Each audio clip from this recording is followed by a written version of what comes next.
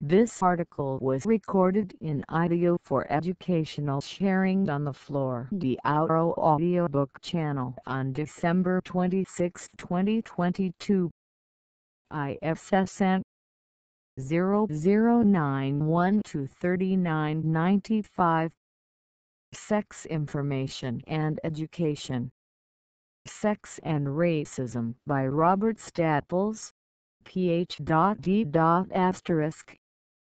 The May 1974 issue of the SIECUS report included 10 important position statements adopted by the SIECUS Board of Directors.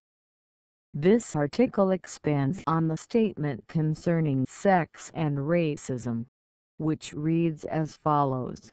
It is the position of SIECUS that in any efforts aimed at identifying and improving a society's attitudes and understanding about racism. Distortions of facts which are sexual in nature must be recognized and combated as such. Racism is frequently manifested by distorted views of the sexuality of other ethnic groups creating barriers to interpersonal relationships. Members of the stereotyped groups may themselves come to believe these racist sexual myths, so that the sexual southeast slash F concepts of both racist and victim are distorted, and they are denied the opportunity to understand appreciate and enjoy the sexuality to which all human beings are entitled.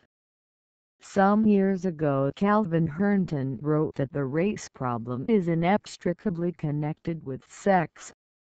He cited the finding by Gunnar Myrdal that white Southerners thought that what blacks wanted most was intermarriage and sexual intercourse with whites Hernton may have overstated his case since racism had a strong economic and psychological base which has kept the specter of racism alive long after the barriers to interracial sex and marriage were dropped. Yet, the relationship between sex and racism is not a spurious nor insignificant one even among the most enlightened whites. The association of blacks with an organic hypersexuality and hence immorality lingers on in their collective consciousness. As with many cultural images of a group there is some validity to the white stereotype of black sexual potency if for no other reason than the self-fulfilling prophecy that if a group be repetitively treated or regarded in a certain way, its members eventually come to see themselves as others viewed them. The image of blacks as hypersexual beings is deeply rooted in American history, culture and religion and is too complex to delineate here. In the early part of the 20th century respected scholars imputed a genetic basis to the all asterisk drive. Staples, a member of the Associate Professor of Sociology, San Francisco, SIECUS Advisory University of Board, California, is leg hotter sexual passions and richer fertility of the black population. Subsequent research has done little to invalidate the earlier generalizations about black sexual drives or to illuminate the socio-cultural forces which differentiate between black and white sexual behavior. The result has served to foster and reinforce white stereotypes about black immorality and hypersexuality. Such false images serve to fuel the fears of those whites who remain psychologically wedded to America's puritanical view of sexuality. and to galvanize their resistance to black demands for equal opportunity in American life. Any objective examination of black sexual behavior would reveal that there are many variations in the type and frequency of sexual activity in this group, that any racial differences can be charged to cultural and class differences rather than to innate biological traits, and that changes in time and space have brought about a convergence in the sexual attitudes and behaviors of the two racial groups. Furthermore, it is instructive to know that the white fear of black hypersexuality stems from a racism and sexism against which blacks and women must constantly struggle. To be specific, the white group's resistance has been to black male slash white female sexual liaisons. Historically, white males had sexual access to black women, through force or economic inducement. In this transaction black women were often unwilling partners whereas white women and black men violated the taboo on their sexual union at the risk of their freedom or lives. Ergo, we find insignificant differences between black and white male sexual attitudes and behavior. The dissimilarities exist between black and white women disparities that can largely be explained by the lack of a strong double standard among black males.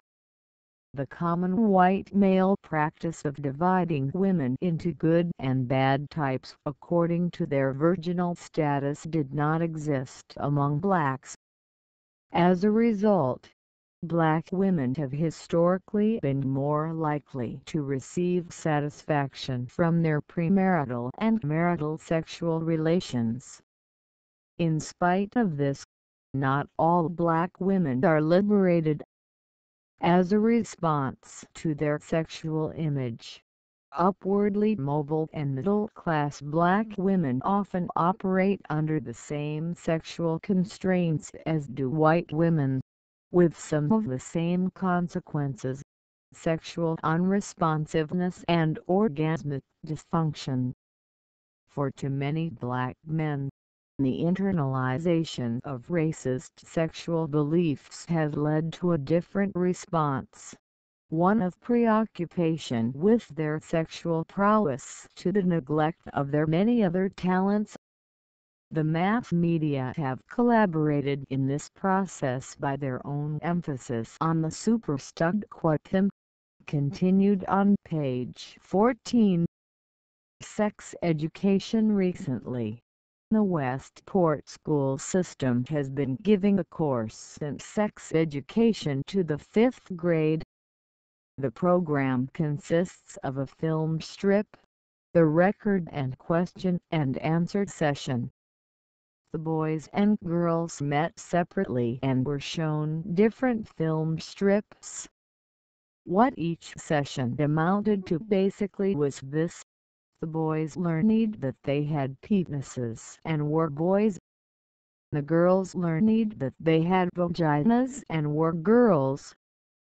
The kids could have spent one minute naked in front of a mirror and found out as much and possibly more than the film strip presented. Assuming that they would get a lot of obscene questions and embarrassment, the teachers passed out cards on which the students were to write their anonymous questions. The teachers got just what they bargained for a lot of obscene questions and embarrassed looks from the anonymous writers. When the children asked questions about the opposite sex, the teachers skillfully avoided answering them directly. We learned more about embarrassment than sex that day. During the film strip that I saw, the boys acted bored and squirmy. The reason I think the kids asked obscene questions is a laugh is because they were trying to pet up a boring situation. I admit, I asked an obscene question myself.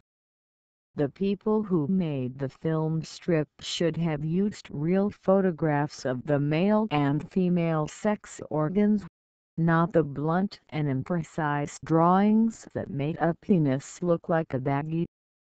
It seems to me that both the boys and girls should have viewed the film together, one that incorporated information about both sexes. Maybe that would have been embarrassing, but once the children had regained their senses after the blast, they would really be able to appreciate how much they had learned Maybe if the filmmakers had had the nerve to prepare and present such a film, sex would no longer be a giggly subject for the fifth graders. Adam Weissman asterisk asterisk Adam School. Reprinted Westport. Weissman Westport was a fifth grade student at the BirdCon. When he wrote this editorial from May 8, 1974 issue of Farms. With permission Connecticut. Fair Press SIECUS has moved SIECUS address is now settled in its new offices at the following volumes III number 5 May 1975 SIECU Suite 922122 East 42nd Street, New York. New York 10017 Phone.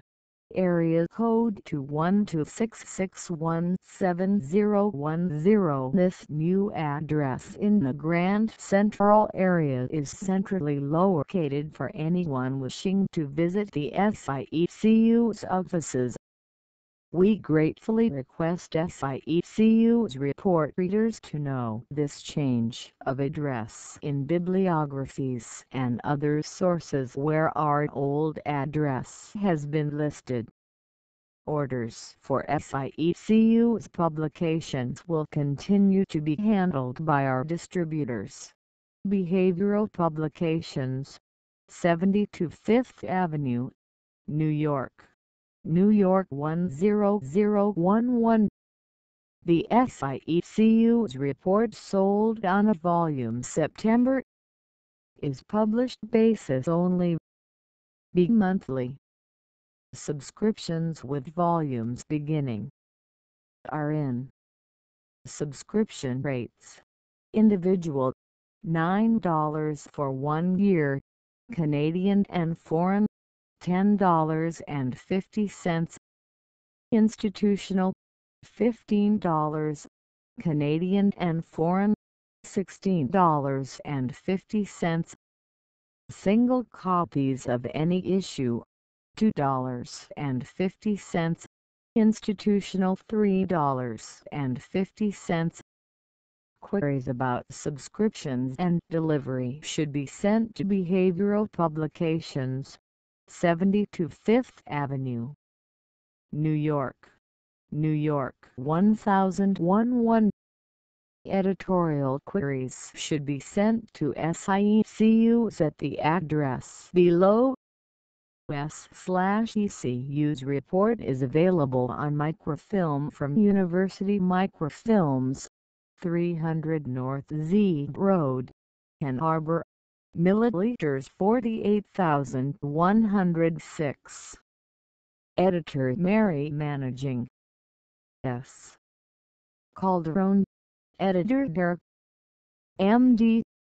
L. Burleson Ed. D. Dot.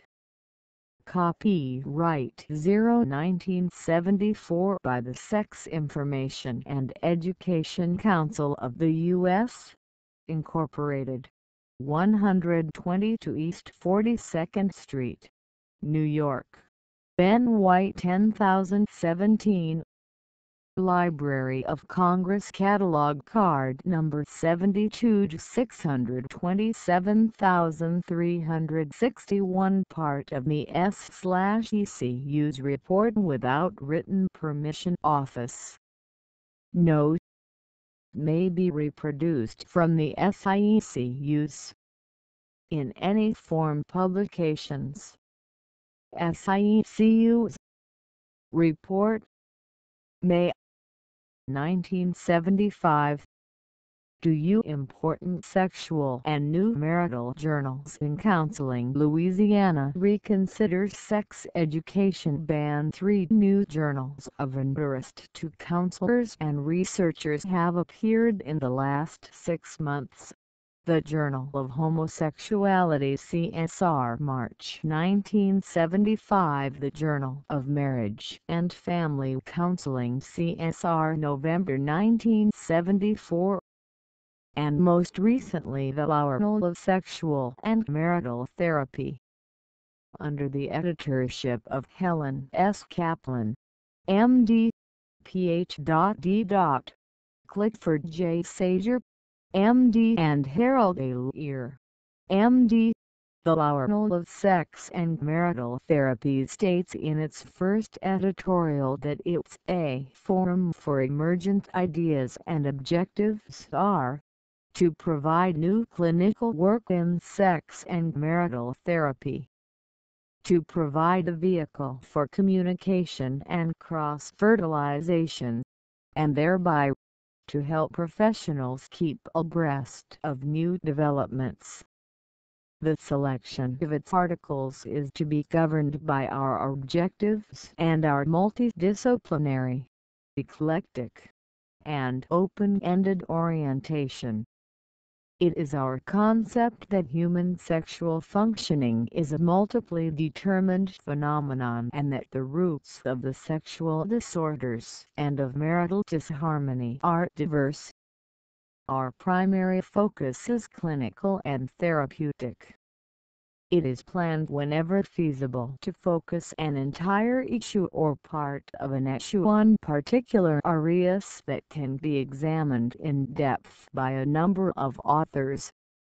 Its second issue, Wintergrave Accent 74, is devoted to female sexuality. Contributions are welcomed, as are criticisms, suggestions and letters.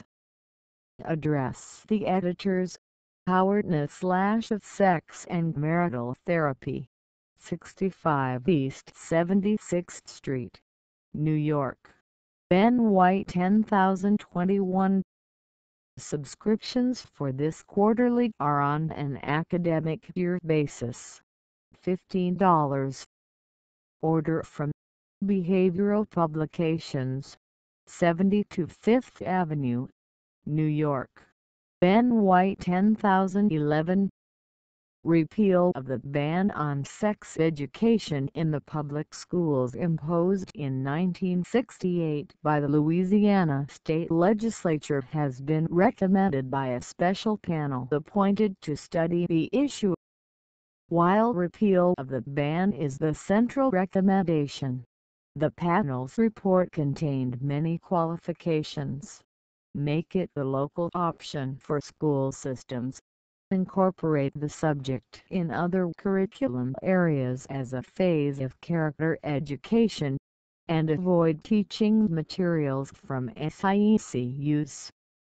Commenting on this recommendation to repeal the ban on sex education an editorial in the New Orleans Times on states Louisiana is one of only three states without some kind of public sex education curriculum, and the same conditions that have argued for sex education elsewhere apply fully here. The demonstrable abysmal ignorance and immature attitudes of young people whose elders tend to believe are so far ahead of earlier generations that they already know all about it and need to be stopped rather than taught. The editorial concludes with the legislature should make the road-clearing decision to repeal the statewide ban and let school boards and parents get on with their necessary work. Right to teach birth in Michigan. Control schools. Denied.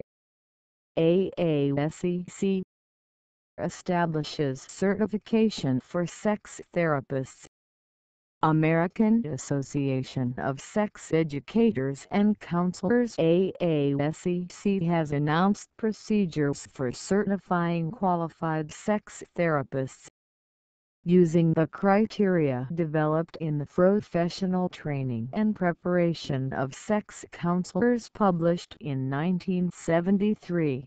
The Sex Therapies Certification Committee, chaired by Albert Ellis, Ph.D.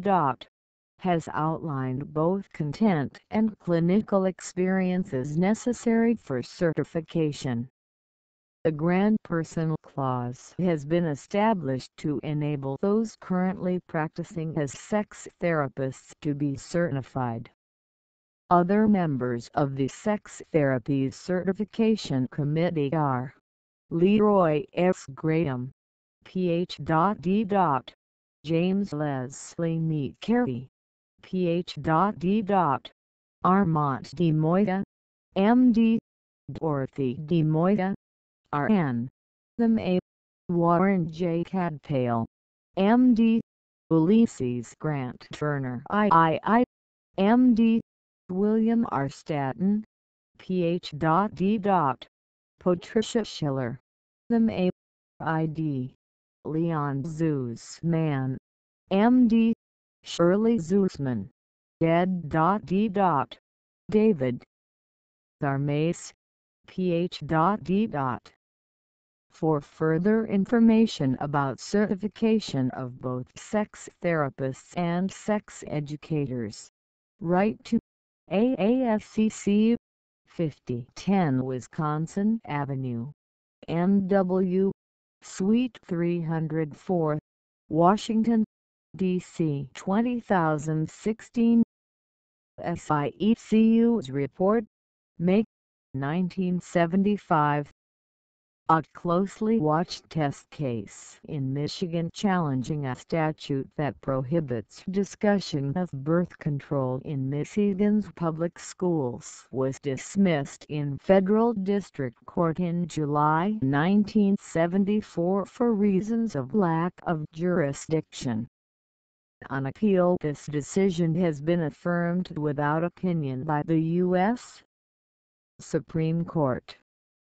The case, brought by a physician and a teacher in Detroit on grounds that the statute was a violation of First Amendment rights of free speech, was dismissed because the plaintiffs failed to prove that their constitutional rights were actually challenged by any threat or reprisal for their actions or speech in connection with sex education courses they taught.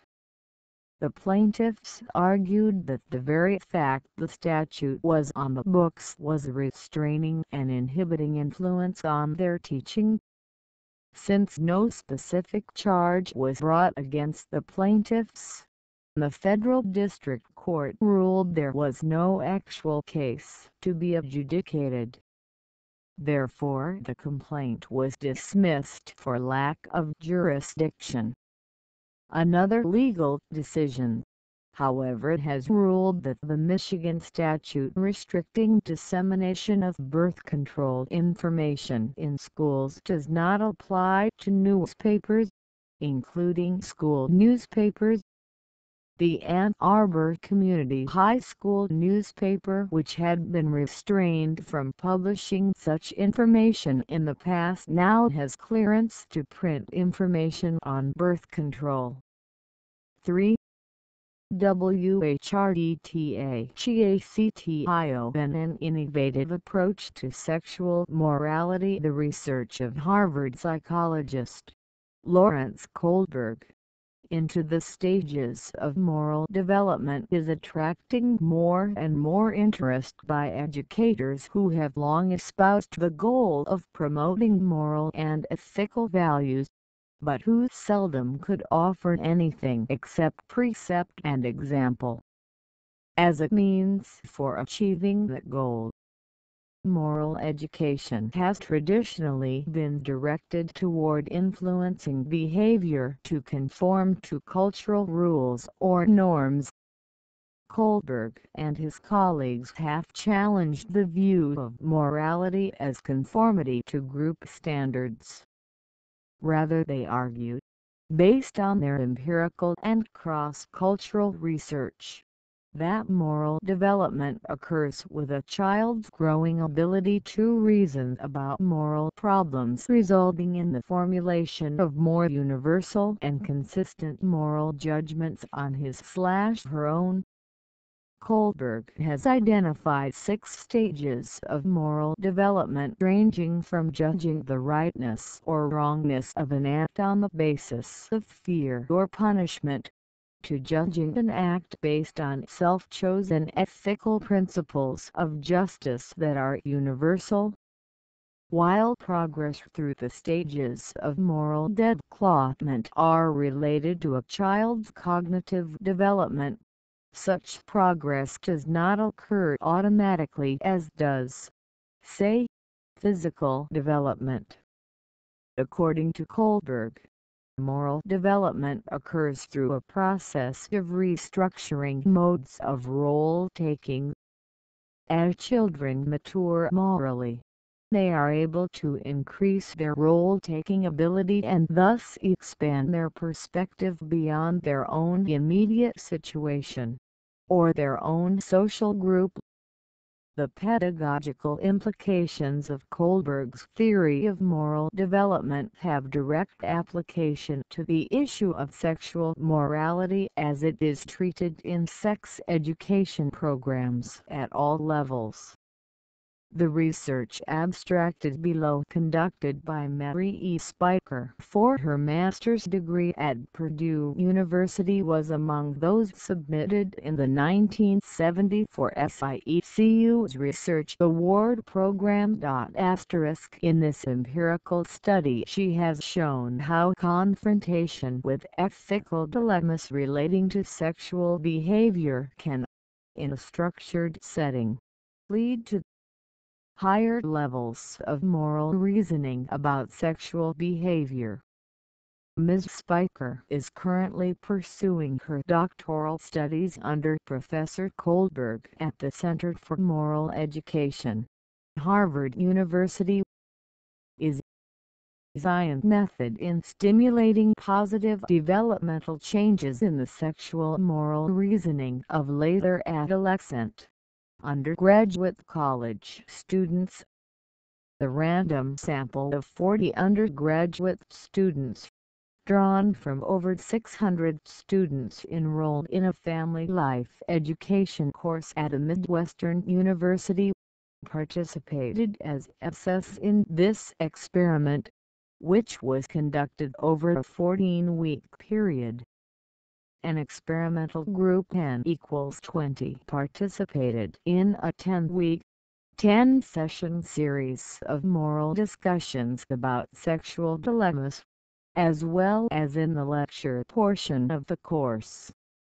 The dialectical technique of discussing moral dilemmas was used and was designed to induce cognitive conflict in SS current level of moral reasoning and to expose SS to principles evolving from higher level stages of cognitive moral development. A control group n equals 20 did not participate in the moral discussion groups and were exposed only to factual information about the subject matter during the 14-week period.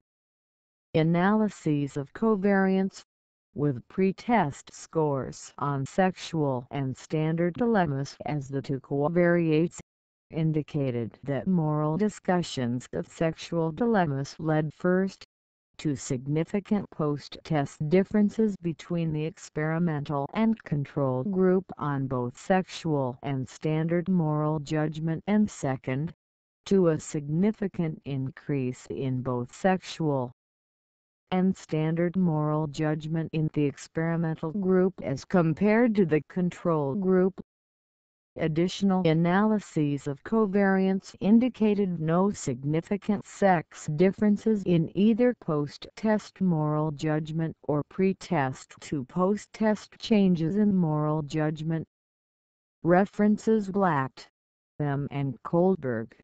Zion upon Children's Quarter slash Y. 1969. L. The Effects of Classroom Moral Discourse Merrill Palmer Level of Moral Judgment 8. Logical operational limitations of the development of moral judgment Unpublished doctoral dissertation Columbia University 1972 Seligman C. Kohlberg L. Lerner, I. N. Bilenki, M. Moral Reasoning about Sexual Dilemmas, The Development of an Interview and Scoring System. Washington, D.C. President's Commission on Pornography and Obscenity, 1970. Kohlberg, L. The Development of Modes of Moral Thinking and Choice in the Years 10 to 16 unpublished doctoral dissertation, University of Chicago, 1958. Kohlberg, L. Development of Moral Character and Moral Ideology. In Hoffman, Ment Research. M. and Hoffman, L. PDS. Volume 1. Russell Sage Review of Child Develop Foundation. 1964. Colby. Stimulating change in moral judgment and mental validation of an innovative educational approach to sexual morality by Mary Elizabeth Spiker. Eperia. Kohlberg, L. Stage and Sequence the cognitive approach to socialization. In David A. Goslin Socialization Company, 1969 Theory and Research Chicago Developmental Education Handbook Rand McNally Capith and an Abstract Developmental moral discussions have been shown to lead to marked and relatively enduring increases in the moral reasoning of early adolescents Black and Kohlberg. 1969, Colby, 1973. As a further investigation of the Black and Kohlberg 1969 approach to moral education, the present study empirically tested the effectiveness of the moral discourse for Kohlberg, L. Moral Development and Education of Adolescents. In ed. Evans Education Adolescents. Readings in Behavior and Development. Hinsdale, Gil, The Dryden Press, Incorporated. 1970 Kohlberg, L. and Turiel, E. Moral Development and Moral Education in G. Lesser Education Psychology and Educational Practice. Piaget, Chicago, Scott J. The Moral Pole, 1932. Winners Issues Foresman Judgment and Company, 1971 of the child. London. England. Kerrigan. Asterisk Award Previous. Band of the. Honorable SIECUS. Mentions Report. Have. Been. Abstracted. In. SIECUS Report. May 1975 One Book Reviews The North 1973 Sexual Adolescent. Sol Gordon. Situate. Them A. Duxbury Press. 206 pages. $7.50 $3.95 paper. By Michael A. Camera Dead.D. Reviewed Take a lot on faith or will have to do a great deal of reading to evaluate the validity of the arguments. Dr. Gordon obviously feels that being scientific does not mean refraining from judgments. This is a useful book for those working with young people. It confronts directly many of the crucial issues parents and those in the helping professions must recognize and understand if they expect to help adolescents see for themselves the choices which are best and right as they move closer to fulfilling their unique and individual potentials. APPR There are 24, with 495 pages. Not only do the discussions at the end of each section fail to connect the different parts of the book, but also there is no general summary or outline, and the index is poorly conceptualized and unhelpful. A major criticism of this book can be found in one made at the conference by Joseph Zubin as summarized on page 191. Dr. Zubin stressed the need for precise definitions of sex, commenting that none had so far been offered, despite the fact that sex-related behavior was the central focus of the conference to emphasize methodological problems in the sex difference field.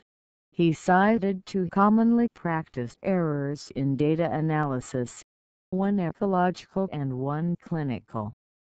The ecological fallacy is propagated by sociologists who infer differences on the basis of comparisons between the means of large groups. The clinical fallacy is propagated by those who infer differences by comparing small series of individuals. He underscored the need for definitive studies focused on sex differences based on large random samples rather than observations of differences culled in directly from research primarily directed at other goals.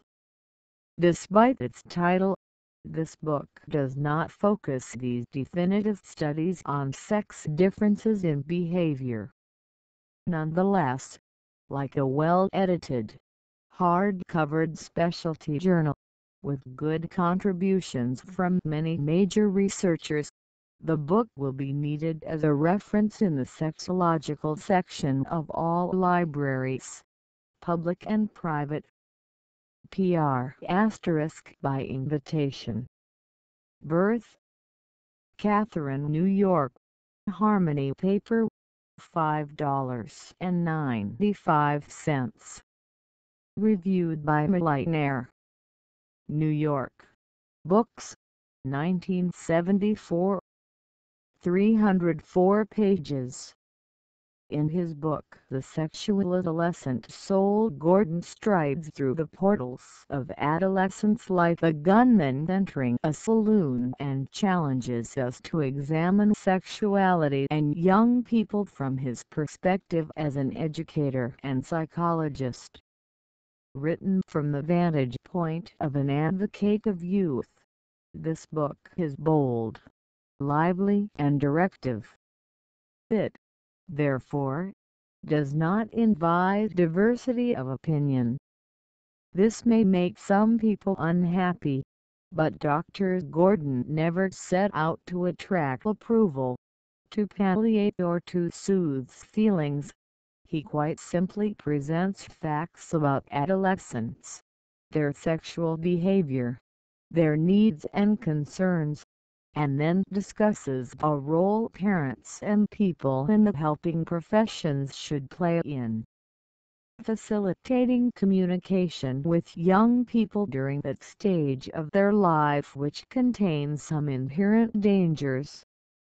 In this succinctly written book Dr. Gordon successfully breaks through years of calcified and blind spot thinking regarding adolescents, their rights, what they know and what they don't know. The sections on adolescent pregnancy, venereal disease, abortion and contraception present in no uncertain terms how Gordon sees the facts their implications for young people and how these issues should be dealt with. The sections on alternative ways of educating for sexuality are presented in snapshot fashion and make one realize the diversity available in delivering information and education about sexuality. The appendices Resources reference section and glossary are extremely worthwhile for those involved in developing and implementing programs with young people. There are several points in the book where the reader's appetite is whetted sufficiently to warrant more balanced and tightly woven arguments. Instead there are somewhat oversimplified analyses where the reader who does not have extensive background will have to SIECUS report, make 1975 Sex Differences in Behavior Richard C. Friedman Ralph M. Richart Raymond L. Vande Wiele eds. New York, New York John Wiley and Sons, 1974. 495 pages. $25. Reviewed by O.H. and Lean Daly. M.D. Asterisk money. Ph.D. N.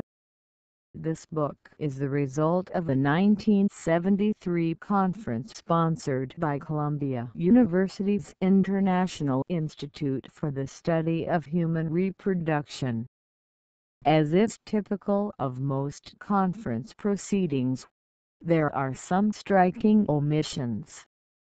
For example, there is no mention of sex differences in erotic arousal or copulatory response in human beings. In fact disproportionate attention is given to non-erotic sex differences. Even sex researchers are affected by the taboo on fucking in our society. The insidious effects of this taboo affect even terminology for the term gender identity is used as the subtitle of Section 5 as though to refer to something exclusive of eroticism. Other section headings are Stress and Early Life Experience in Non-Humans Early Mother-Child Interaction in Humans Development of Sex Differences in Behavioral Functioning Aggression adaptation and evolution, and perspectives on psychoendocrine differences. Only in the first section effects of hormones on the development of behavior does some kind of correlation appear between the chapters, of which Florida 5 Flint the May I really wanted to like this book about childbirth because it was written by someone who had actually given birth. Most of the better books for expectant parents, while medically informative and useful, are either very impersonal 5 or downright condescending volumes written by male obstetricians who can't only conjecture about how a labor contraction or a baby kicking inside a womb really feels, Catherine Milinaire wanted to write a different kind of book. As a photojournalist, she could add the most human dimension through her particular skills. As a mother, she knew what interested her in the birth process. The unique parts of the book interviews with parents about their childbirth experiences, and a discussion of birth customs around the world also seemed to be the ones of most interest to the author. If only she had left the technical aspects of childbirth to other sources. Much of what she presents is too confusing, too brief and too earthy to be useful to urban dwellers. She is a devout believer in the curative powers of herbal some of which like Lobelia are more dangerous than helpful. The medical information was all too briefly reviewed by a physician named Joseph Berger. The chapter on fetal development is especially poor. Ms. Milinaire adapted some of Dickinson's drawings and turned them into what appeared to be confusing paint-by-the-numbers forms. The author asserts that she is presenting choices of ways to give birth with or without anesthetic, at e.g. home or in the hospital but she clearly favors home delivery. Her interviews with hospital delivery mothers make these experiences all seem very mechanical, while those at home were all joyous and natural, with friends drinking wine, singing, chewing peyote buttons and celebrating. Even the stillbirth WHICH I interpreted as being preventable had the woman been in a hospital WAS not seen as so great a tragedy. Anyway, it was easier to have this trip go down in a home, rather than in a hospital. I was surrounded by the people who loved me who cried with me and who didn't make me feel ashamed over so much emotion. I wasn't shut away in a sterile little room with a perfect view of beaming new mothers. A highlight of the book is the warm and humane photographs, some of which were taken by Ms. Milinaire and others by the couples during childbirth. The section on caring for the newborn is modern and practical and reminds new parents that they don't have to spend a fortune on so many of the 86 Verdes products. It also contains many of the same exercises which I know the YWCA uses in its gym and swim classes for infants. I asked a pregnant friend to read the book in the context of the many childbirth books she had recently digested.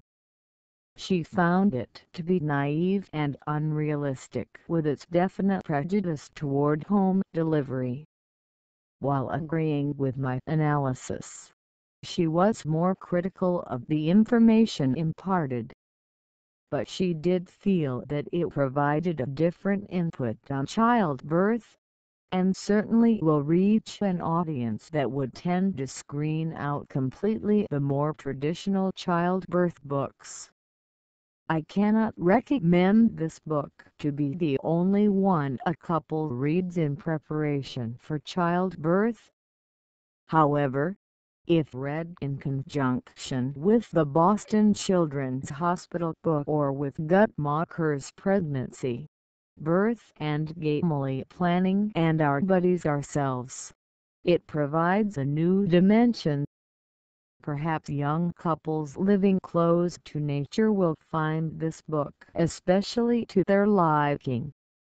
I think that most importantly, it raised my expectations for more humane treatment from my own obstetrician. It reminded me that I have a choice, even if it isn't to deliver my baby at home. AP Male and female under 18 Nancy Larick and Eve Merriam. Editors New York. New York. Avon Books. 1973. $1.95. Paper. Reviewed by Evelyn 5. Gentle. MD. Running an advertisement in junior and senior high school papers. Approximately 2,500 young persons responded to this advertising most with return home addresses, not school addresses, indicating that their contributions were personal statements and not a classroom writing assignment. There is no question, in my opinion, that the collection of sometimes labored, sometimes spontaneous but always thoughtful responses will have significant impact on any adult who chooses to read it. For the peers of the youthful contributors it represents many voices from the most unliberated to the super-liberated boy and girl. If though you have ever had doubts that children and young persons 8 to 18 years of age were knowledgeable about adults, forget them. They are also candid questioners of themselves, in ways that adults could emulate for their own benefit as well as for the young with whom they work and associate. Some of the contributors' comments are penetrating enough that more than one of the efforts of some appear in this book. The overall views expressed, however, reflect the mosaic of ethnic, economic, geographic and social patterns of the United States plus one from New Delhi, India formerly of Lincoln. Nebraska as she emphatically notes who is by two years of age. I recommend this book for teachers, parents, students of all ages and for other professionals in the field of human sexuality. Get Lieutenant P.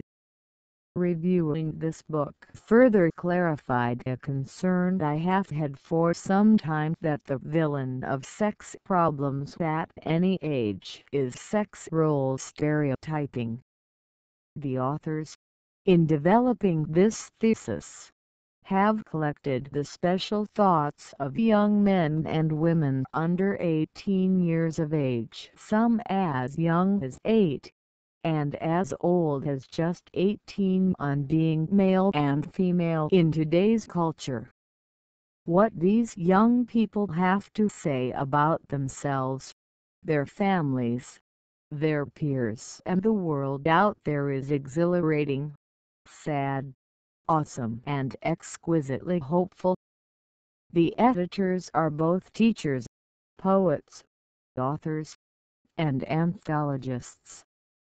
Ms. Merriam edited Growing Up Female in America, and Ms. Larick has edited two anthologies of young people's poetry, as well as parents' guides to children's reading.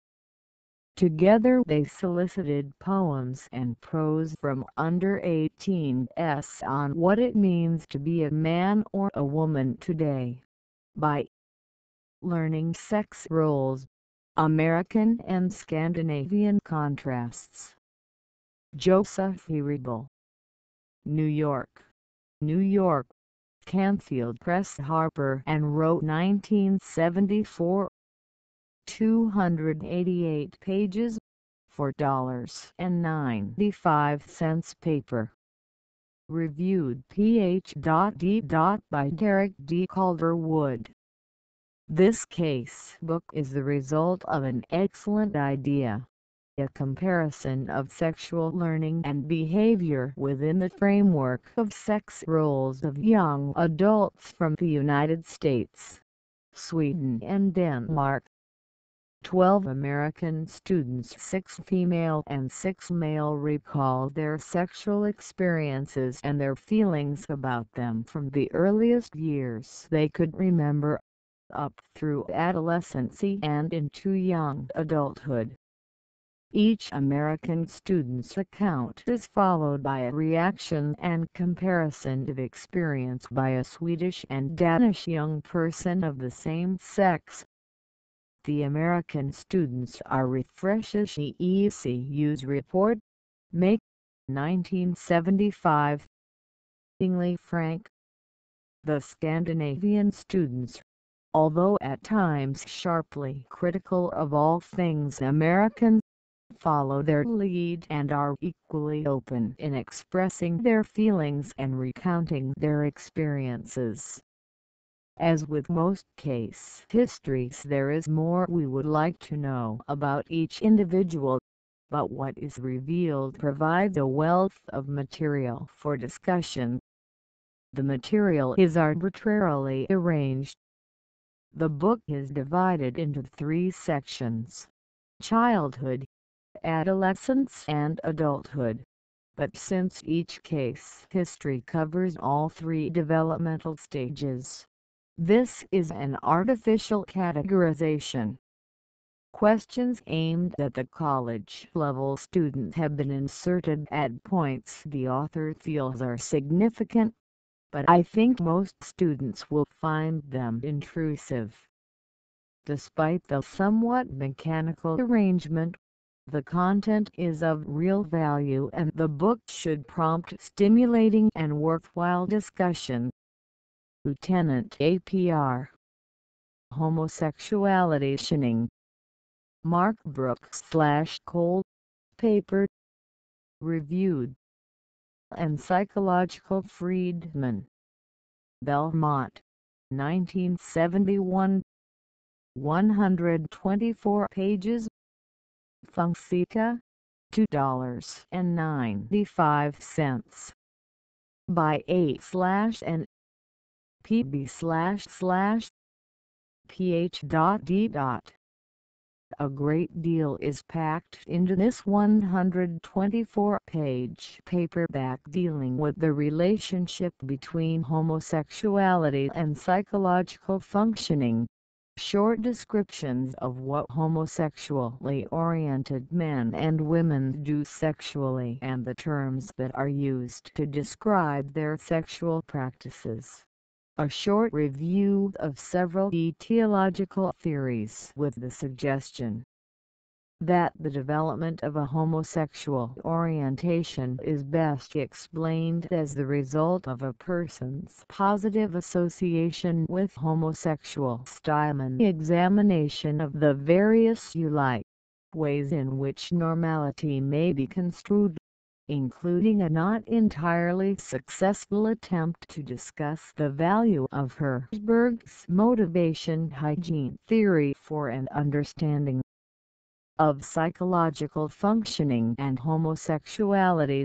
A comparison of homosexuality and heterosexuality with a special emphasis satisfactions associated with upon homosexuality which are less often found within the other sexual orientation brief descriptions of the results of 13 studies conducted from 1957 to 1970 which indicate that homosexuality is not ipso facto pathological, and the author's own study of homosexual and heterosexual females SIECUS report, Make 1975 which not only confirms the impressions drawn from others' work but which suggests that in certain respects homosexually oriented females function better than their heterosexual counterparts.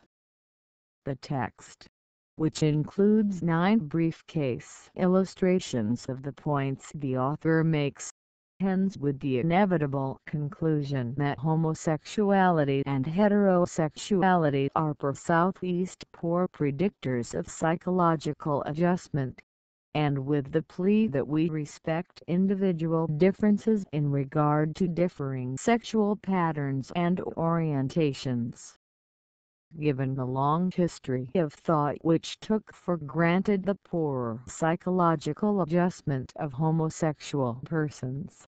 and the recently successful efforts of gay liberationists to gain parity with heterosexuals by having their sexual orientation stricken from the American Psychiatric Association's Manual of Mental Disorders. The present book is not only understandable, but worthwhile. It is possible, however, that we have reached the point where we can say, so what? To the kind of message which the author so urgently addresses to his reader. Each of us inhabits a culture which, if we were human enough, should probably be driving us crazy. Perhaps everything antithetical to being the human being accounts for our relatively high scores on happiness measures for our ability to master a basically sick environment, for our smug self-satisfactions. My only hope is that the measures used in the kinds of studies to which the author refers have failed to tap levels of alienation within homosexuals and heterosexuals alike which could be considered legitimate and worthwhile outcomes in human beings deserving of more. And if all the truth were known, perhaps we would end up applauding whichever group turned out to be more out of step, more out of place, more unhappy, given the present state of human affairs. APR Sex and Sensibility. The New Look at Being a Woman.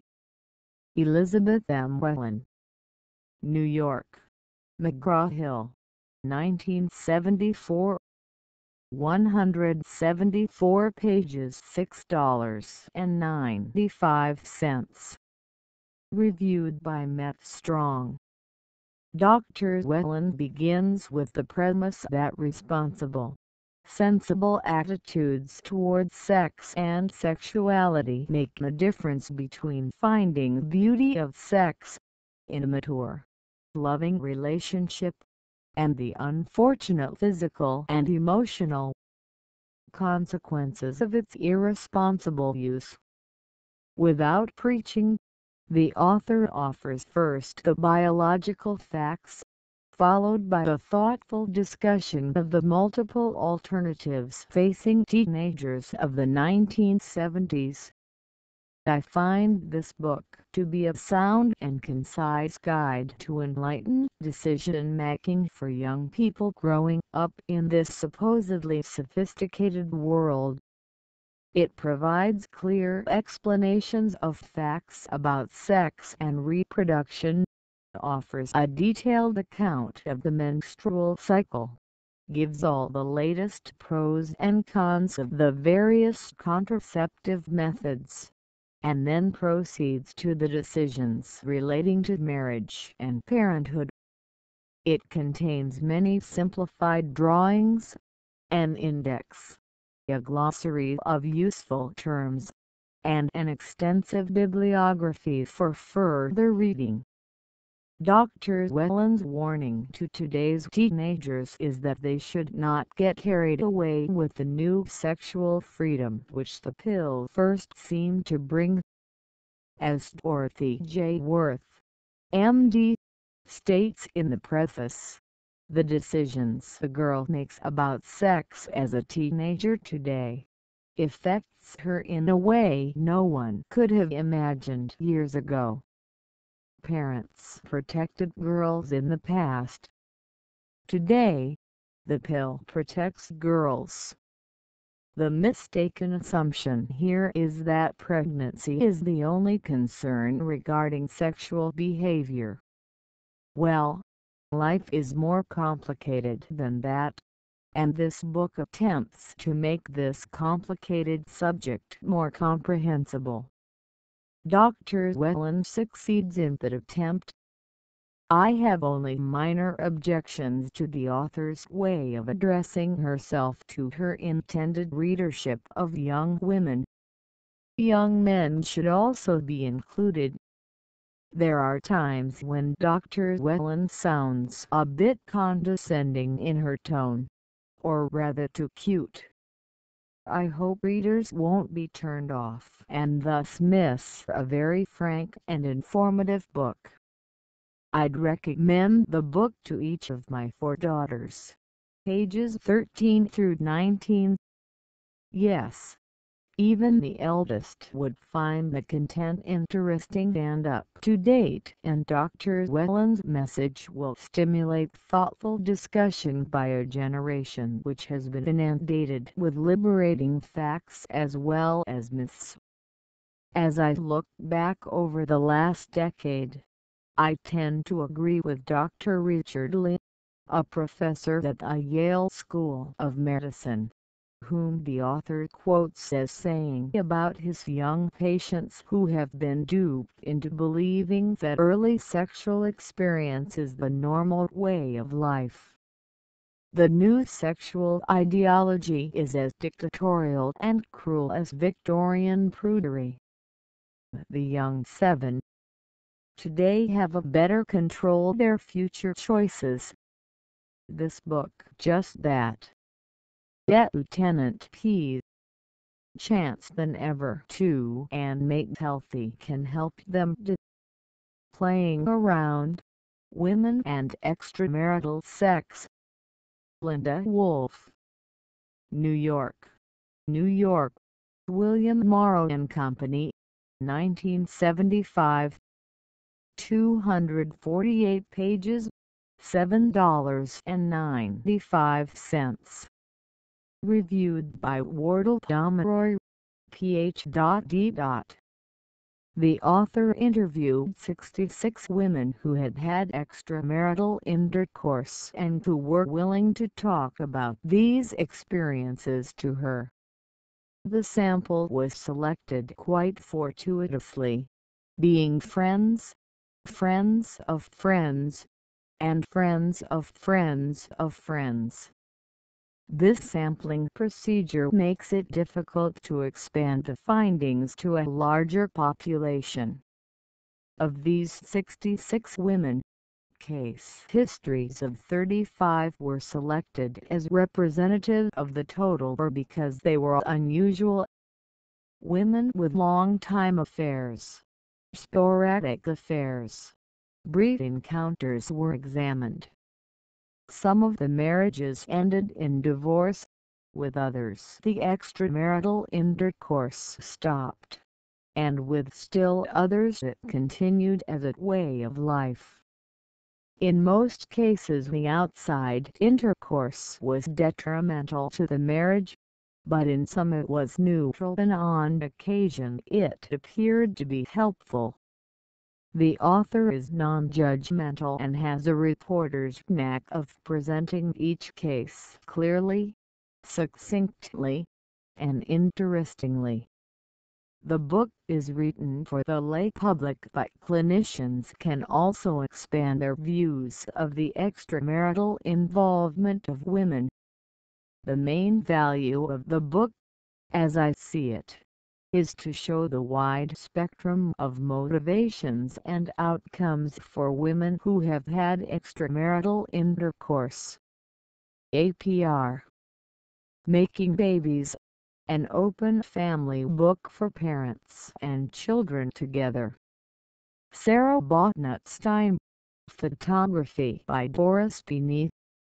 New York, New York, Walker and Company 1974 48 pages $5.95 Reviewed by Mary S. Calderone, M.D. The idea of this book is good. After an introduction that states clearly and well that the purpose is to help the parent and young child to increase their communication about sexual things, the left pages contain two or three sentences in large type that are supposed to explain the accompanying picture on the right. 8 and also a couple of paragraphs of smaller type that enlarge on how the parent can explain things better. But alas, the following will illustrate some of the difficulties accompanying photographs of the birth of kittens. The large type states that this is how a baby is born too. But small type for the parent includes the statement that the cat wants to be a mother, an undesirable anthropomorphism. The photo by Landrum of a sperm penetrating an ovum is not labeled and to the uninstructed eye looks like nothing so much as a ball of string beginning to unwind with its eye idle tail sticking up in the air. The picture of the lovely baby girl states in large type. When she was inside her mommy she knew how to grow to be a baby girl. How the small type informs the parent that your child can see that this newborn baby is a girl. But the umbilical cord stump has dropped off and the umbilicus is well healed. Newborn The picture of a small boy has the correct caption that every boy has a penis. On another page the caption that every girl has a vagina is also correct but hardly susceptible of visual proof for the inquiring mind of a child who sees only a picture of a new little girl of two. In for photos of two beagles. Into. They are playing together. Into. One is mounting the other. The caption. These dogs are loving each other. With one photo of three children the small type informs the parent that your own child, little as he is, already holds the seed of the children he will have someday, thereby compounding the confusion about gender with the added confusion of the present-day inexcusable use of an agricultural term. He won't manufacture sperm until puberty she has cells that will ultimately develop into ova, but never seeds which are plant forms. But alas, the worst is the large type statement that the baby changes and grows. Now it is almost ready to be born, accompanying a reproduction of one of Lennart Nilsson's famous photographs of a fetus within its amniotic sac. The trouble here is that the fetus shown is that of a 76-week pregnancy, about 5 months away from being born. On the plus side is the small type that tells the parent how to answer the child's question about details of intercourse. The man puts his penis in a woman's vagina so his sperm can go inside to join with her egg. And that's how people start babies. Then the author advises the parent, it is sensible and honest to add that, because it feels nice, people make love together even when they are not starting the baby. A concept that should be acquired by every child very early but that parents find very difficult to put into words. We wish that those who with every good intention want to write in the field of human sexuality, would do their homework. Much ignorance is caused by lack of books. Today it can't truthfully be said that there are too many books on the market that simply add rather than correct Misinformation. CP Geology and Body. Editor. Philadelphia Press 1974 157 pages Reviewed by Walter John Y. Fenton P.A. Westminster $6.50 Harrelson th. D. This fascinating collection of essays grew out of a conference on theology and body held at Emory University in October 1973. William A. Beardsley wrote a fine introduction. The essays are well edited, while still retaining the style and flavor of oral presentations.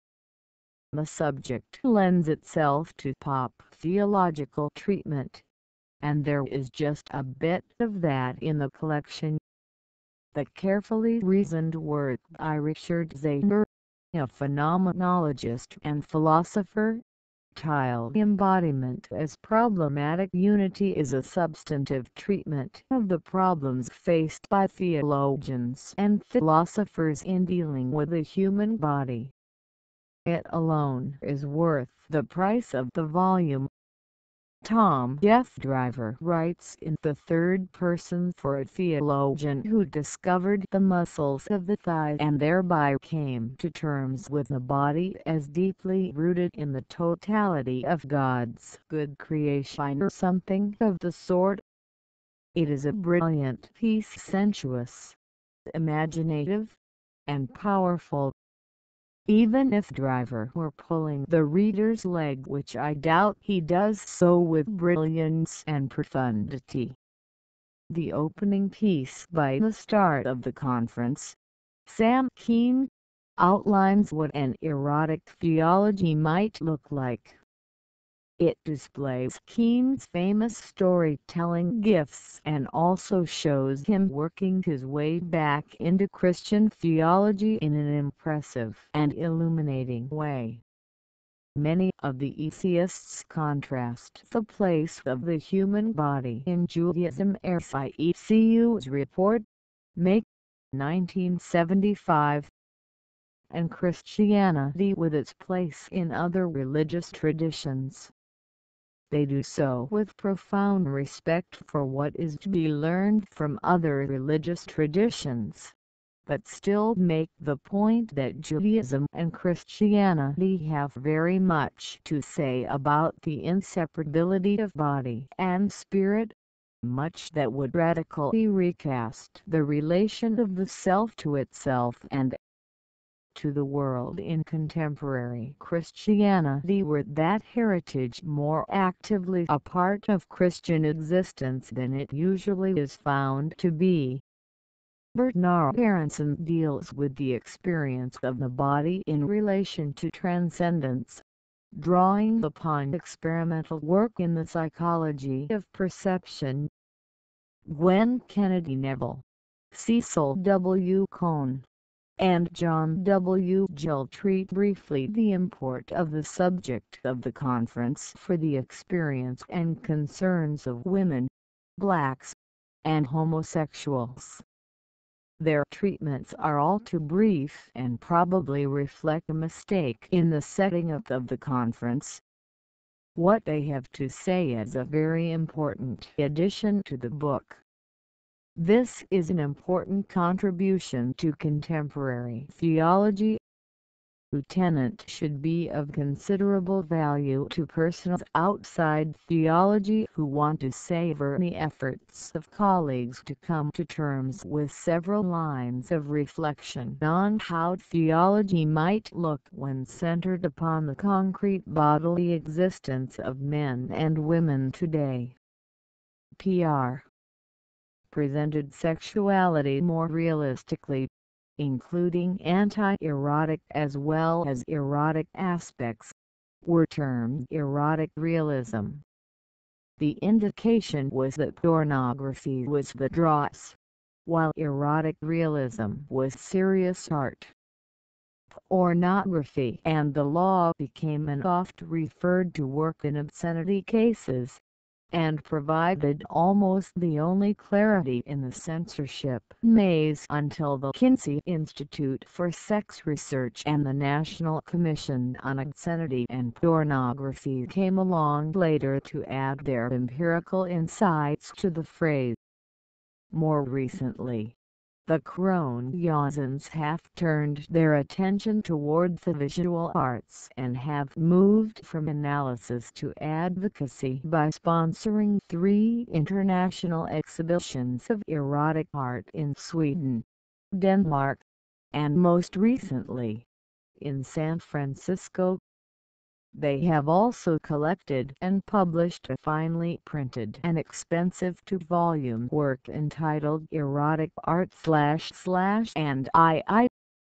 The San Francisco exhibition has led to the establishment of a permanent museum of erotic art in that city and this new and relatively inexpensive book contains reproductions of 138 of the museum's newest acquisitions, along with a brief history of the Kronhausens erotic art crusade entitled Why We Feel the way we do an even more brief introduction to the history of the world's erotic art. In addition there are biographical sketches of the modern Western artists whose works are included in this volume. The book is interesting in its reports of some of the Kronhausens' brushes with the law in the pursuit of their interest in erotic art. For instance, on the subject of governmental attitudes toward erotica, even when it can definitely claim the title of art. A certain high-placed official in the U.S. Department of Justice told them as late as 1969 grave accent if you brought into this country a Michelangelo with that subject matter, we would confiscate and destroy it. The authors also mused interestingly about why eroticism, even when it lies obviously of redeeming artistic import this collection includes sexually. Explicit works by Rodin, Man Ray, George Grosz, Pablo Picasso, Jean Dubuffet and Karel Appel among others continues to be such a bugaboo with authority figures especially governmental ones. Their explanation is that such attitudes emanate from a form of cultural elitism which argues that only better educated and well-brought-up persons are able to eat of the forbidden fruit of a Gallery of Erotic Eberhard Kronhausen. Bantam Books, 1974 Reviewed by Art. Phyllis, New York. $2.95 paper. Jones, Ph.D. and New York. Knowledge without danger of indigestion. The Kronhausens believe this attitude not only characterizes the establishment, but is also patently undemocratic from thence comes their conviction that erotic art has assumed the necessarily political character, and that suppression of it becomes a matter of political censorship. Although the foregoing is certainly a simplistic view of the censorship troubles which even the greatest artworks with frank and stimulating erotic content still suffer from, I would not disagree with it as being one of the roots of that trouble. Perhaps even the taproot. One of the disappointments of this volume is its concentration upon the Japanese shunga for a disproportionate amount of its reproductions. Any word which attempts to represent something of the scope of erotic art, both ancient and modern, would have to include not only the Shunga but also the traditional and often religious erotica of India and China. But the hallmark of the Shunga, which differentiates it from all other forms of erotic depiction, is the male chauvinism of the Shunga artists, who always exaggerated the size of the penis making the females seem relatively frail and sexually inadequate. upon the principle laid down in their earlier work by the Kronhausens. It would seem that Shunga is just not good erotic realism, making one wonder at the amount of attention they give to it. APR C. William D.R.S. Phyllis and Eberhard Kronhausen the co-authors of this book, have done much to legitimize contemporary interest in, and appreciation for, erotica.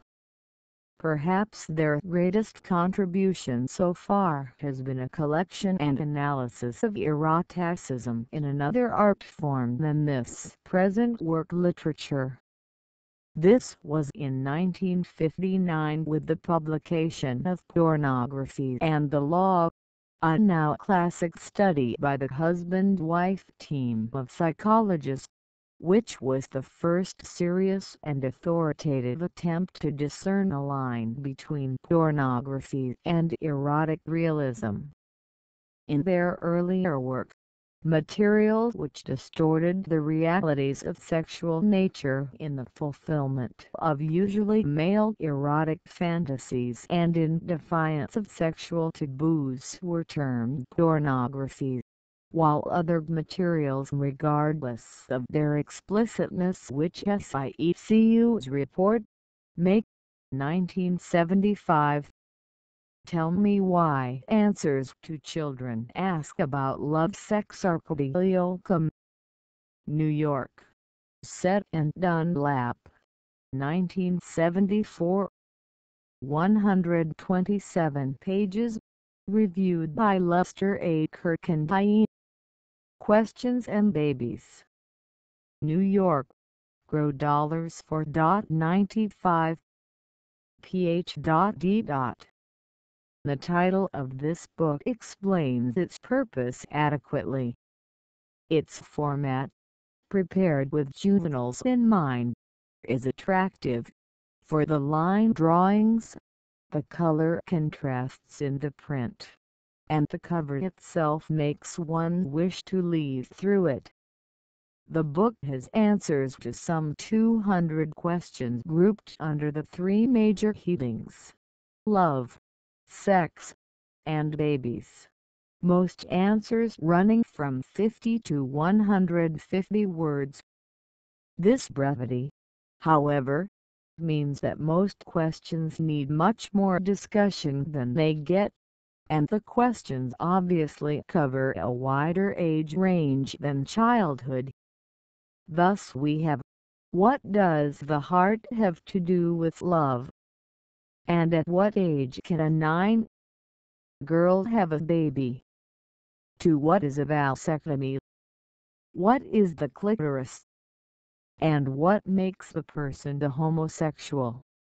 Thus the answers, though given to questions that are basically positive in tone, so support traditional and denying attitudes toward sexual expression that they probably will be questioned by those entering or in adolescence.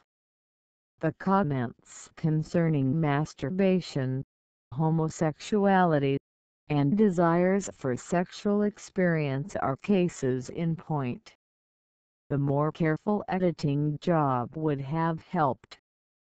Thus the answer to the question do boys have orgasms before girls is really directed to the question do boys generally have orgasms at an earlier age than girls.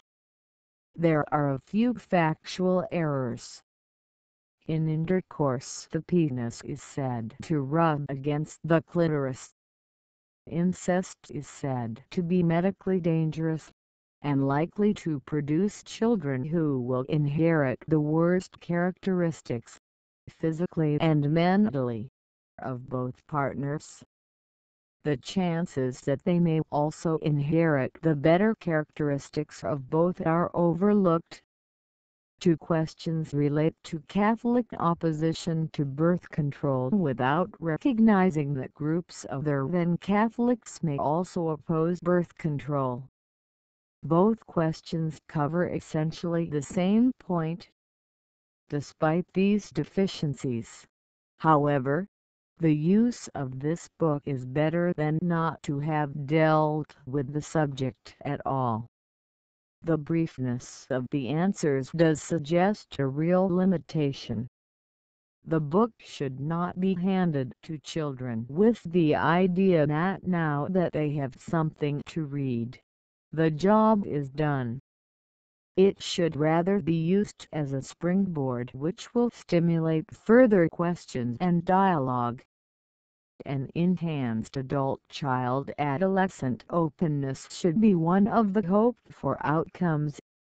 See at Lieutenant P. Subjects shared in the book include consideration of male and female homosexual relationships, persistent and prevalent myths concerning basically homosexual or heterosexual persons, homosexual love and the question of marriage, particular problems of vocation and work among homosexual persons who are teachers, social workers, and members of the clergy. Problems relating to arrest and imprisonment. Married persons one or both of whom are ambisexual. Differences between transsexual persons transvestites, and homosexual males, and sex reassignment. The failure to relate humanely to persons of homosexual orientation has led to undue and unnecessary emotional pain, social anguish, despair, fear, guilt, humiliation, and family rejection for many men and women. Clinton Jones provides personal insight, sensitivity and wisdom concerning the counseling of homosexuals invaluable to anyone working in the helping professions APR asterisk by invitation. Men and Masculinity Joseph H. Pleck and Jack Sawyer Editors Englewood N.J. Spectrum Books Prentice Hall 1974 224 pages $2.95 Reviewed ph.d. by Deryck D. Calderwood That prevent affectionate relationships between males in the sections Men and Work and Men and Society Men examine the ways institutions exploit the masculine role and restrict men's ability to work, play and love freely. The final section, Men's Liberation, includes personal accounts of experiences in male consciousness-raising groups and concludes with a manifesto developed by the Berkeley Men's Center. There is an excellent bibliography of books, articles and films. At any price it would be a challenging and worthwhile anthology. Being in paper that at $2.95 makes it available and recommended reading for every male. Women, of course, will profit from it too. APPR how to teach your children about sex. Harry Preston with Jeanette Margolin, M.D. Chatsworth, C.A. Books for Better Living, 1974 $1.25 paper. Reviewed by Matt Strong. Homosexuality R. Jones. Press, 1974 reviewed, and counseling. Clinton, Philadelphia, PA. Fortress 132 pages. $3.50 paper. By O. H. and R. Hanson Asterisk. Clinton Jones, an Episcopal priest, has counseled with more than 1,000 men and women whose expressed need for counseling has developed out of their sexual orientation and preferences. Wise and sensitive counsel is offered here to counselors and other concerned readers through the use of case histories of persons with whom the author has established a counseling relationship. 10 books about male sex roles and man's liberation are beginning to appear. Some of them are clearly dashed off to capitalize on the latest in idea. Men and masculinity fortunately does not fall into that category. The editors have been carefully selective in their choice of articles and essays. The men who have contributed to this volume are an eclectic group and they write from many viewpoints gay and straight, student and executive, black and white, married and single and in many moods. With one jarring exception the research report on male child socialization from the 50s all the selections were written in the 1970s. The book opens with a section called Growing Up Male, in which several men look back at significant experiences that taught them what society expected if they were to be considered masculine. The following section, Men and Children, includes some moving accounts of learning to be a father. Men and Men deals with the fears of homosexuality the intention of this book is both to fill in gaps in many an adult's mind and to provide a solid basis for dealing with the questions children inevitably ask, state the authors.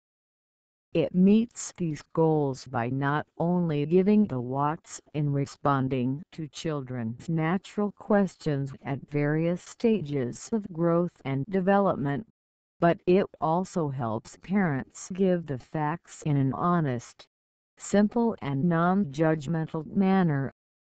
As the authors say, acceptability often hinges not so much on what may be said, but how it is said. If read with the open mind the authors wish to encourage this book should help overcome parental inhibitions when talking to their children about human sexuality. The authors are convinced that sexual trauma is unnecessarily rooted in early, negative impressions, gathered long before puberty. It is the parent's duty and responsibility more than any other single source to be fully informed and to be comfortable with the subject of sex so that they can convey healthy, positive concepts to their children about their bodies, their feelings and their relationships with others. The authors emphasize how influential the parents' own patterns of relating and communicating are in how their children will view love, intimacy and commitment. Honest parental guidance, verbal as well as nonverbal, is of Hutchiku's report, May 1975 most importance from the very youngest years if the child is to grow up with an awareness of personal responsibility, a good self-image, and a positive attitude toward human sexuality. Without such preparation the authors warn that starting to impose dogmatic restrictions on their teenagers without any prior record of supervision is only closing the barn door after the horses have gone. Throughout the book the point is made, animals may copulate, but human beings communicate. Occasionally lack of attention to precise terminology could lead to some misconceptions by children. For example in discussing how to answer questions about elimination the authors state, just as we let water out of our bodies through the genital areas, so also we dispose of waste matter through the anus. There are also some questions that are not directly answered. Grave accent Why do some people say abortion is like murder? Is answered by saying the woman has a right to control her own body. I'd like to see this book read by parents, even those who know it all. Unfortunately the many parents who won't read how to teach your children about sex, are the very parents who need it the most, so that they could make things healthier and easier for the parents of tomorrow. Buy it $1.25 read it with your spouse share it with those children who may be interested and leave it on the coffee table for anyone to browse through. Good discussion should follow, resulting in improved communication and understanding all around. P. The Future of Sexual Relations Robert T. and Anna Katherine Kerr Englewood Cliffs, N.J. Prentice Hall, 1974 150 pages, $7.95, $2.45 paper. Reviewed by J. Robert Moleskine. The May the great God technology has replaced the commandments of religion and the pressures of social tradition as the arbiter of sexual relationships in our culture and promises to radicalize our sexual relationships in the future. This is the thesis of the future of sexual relations. The potpourri of readings mostly reprints from various periodicals and therefore quite uneven in value and readability. The essays, grouped into six sections, deal with the new technology of sex, new attitudes toward sexuality, marriage and parenthood, their psychological implications from impotence to transsexualism and finally androgyny our future humanhood. The editor's viewpoint seems to be that sexual relationships are going to be better in the future because they will be both looser and, paradoxically, more manipulated computer meta matching, licensed parenthood, etc. Their guess about the shape of the future is probably as good as anyone else's. Robert Kerr's opening essay, The Technologies of Man-Made Sex proclaims that new technologies artificial insemination, sperm banks, embryo transplants and such are exploding our concepts of male and female and creating a period of apocalyptic discontinuity most of the articles are less menacing. George B. Leonard condemns the awful silence surrounding sex in most American families but warns that school-taught sex education might do to sex what our traditional classroom has done to poetry and mathematics. Raymond J. Lawrence opts for marital permanence at the expense of sexual exclusiveness. The author's consensus is that marriage is in trouble today and advocates satellite relationships that will sustain marital loyalty by making room enough for another very personal and intimately emotional friendship, even one involving genital expression. One of the more valuable essays is Jean Binstock's Motherhood, an occupation facing decline she deals directly with how technology is changing the way we feel and think. The book closes on a hopeful note, predicting a diminution of co-gender identity and sexual polarization, and concluding that we are coming to know ourselves as we are, in flux among many aspects of being. APR Homosexuality from the Inside. David Blamires. London. Social Responsibility Council of the Religious Society of Friends. 1973. 45 pages. No price given.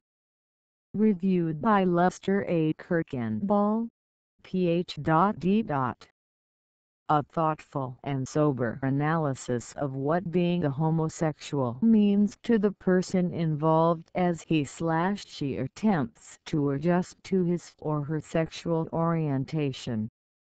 Much of the problem arises from the unreadiness of society to accept this sexual preference and from the difficulties which members of any minority group have as they seek to establish firm and secure roles and meaningful relationships.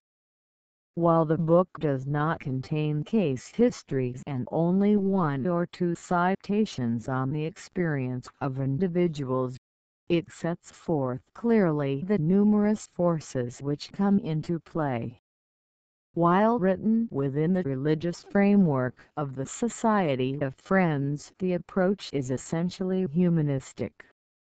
APR About the Reviewers Reviews of books, booklets, journal articles, and audiovisuals are written by present and former members of the ESIECU's board and staff unless otherwise noted. Background information about present board members and staff can be found on the back cover of the ESIECU's report. Identification of all others follows. Jean Dailey, MD, Departments of Psychiatry and Pediatrics, The Johns Hopkins University School of Medicine, Baltimore, Maryland. John R. Hanson, Assistant Director, Office of Research and Analysis, The American Lutheran Church, Minneapolis, Minnesota. John Money, Ph.D. Professor of Medical Psychology and Associate Professor of Pediatrics, The Johns Hopkins University School of Medicine. Baltimore, Maryland. Former SIECUS board members. Audience keys to Level categories Senior. Indicators are high, as a college. The follows. Bold. Type C Children General. Letter S Adult. Following the elementary public Book P Parents. Reviews. Indicate. The general audience. Level. Grades. Teens clergy. SIECUS that early teens PR professionals. Junior high lieutenant late educators.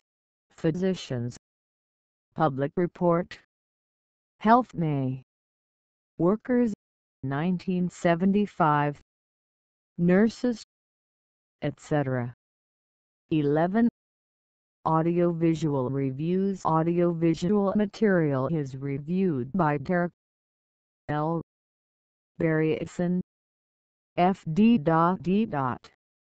S slash ECUs Director of Education Alland Research services unless otherwise indicated. Sex is not a dirty word. 77 35 mm slides, 20 minutes audio cassette, and teaching notes. Harper Media Department 10 East 53rd Street, New York, New York 10022 Price $85. This audiovisual program, part of Harper Row's How the Health Are You series is essentially an illustrated lecture. the kind an instructor might give at the beginning of a human sexuality course at the high school or early college level. It sounds suspiciously like the opening chapter in any of a number of the standard college textbooks in the Phi.LD. As a lecture it is a well-organized presentation, providing an overview of some of the social, psychological, and moral issues in the field of human sexuality. Topics touched on are sexuality as an integral part of personality, development of gender identity, childhood sexuality, the language of sex, obsession with sex in American culture use of sex in the media, and distinctions between sex and love. The program concludes with some provocative questions about the implications changing mores and values will have on our traditional concepts of masculinity and femininity and on sexual behavior. The slides provide a visual reinforcement to the lecture on the audio cassette but can the inflated price these slides impose on this scanned illustrated lecture be justified for the limited purpose it serves? While intended for classroom use this reviewer feels that this program has greater potential for parents groups or the general public to orient them to the need for sex education. What about McBride? 16 mm sound slash color. 14 minutes. CRM Educational Films. Del Mar.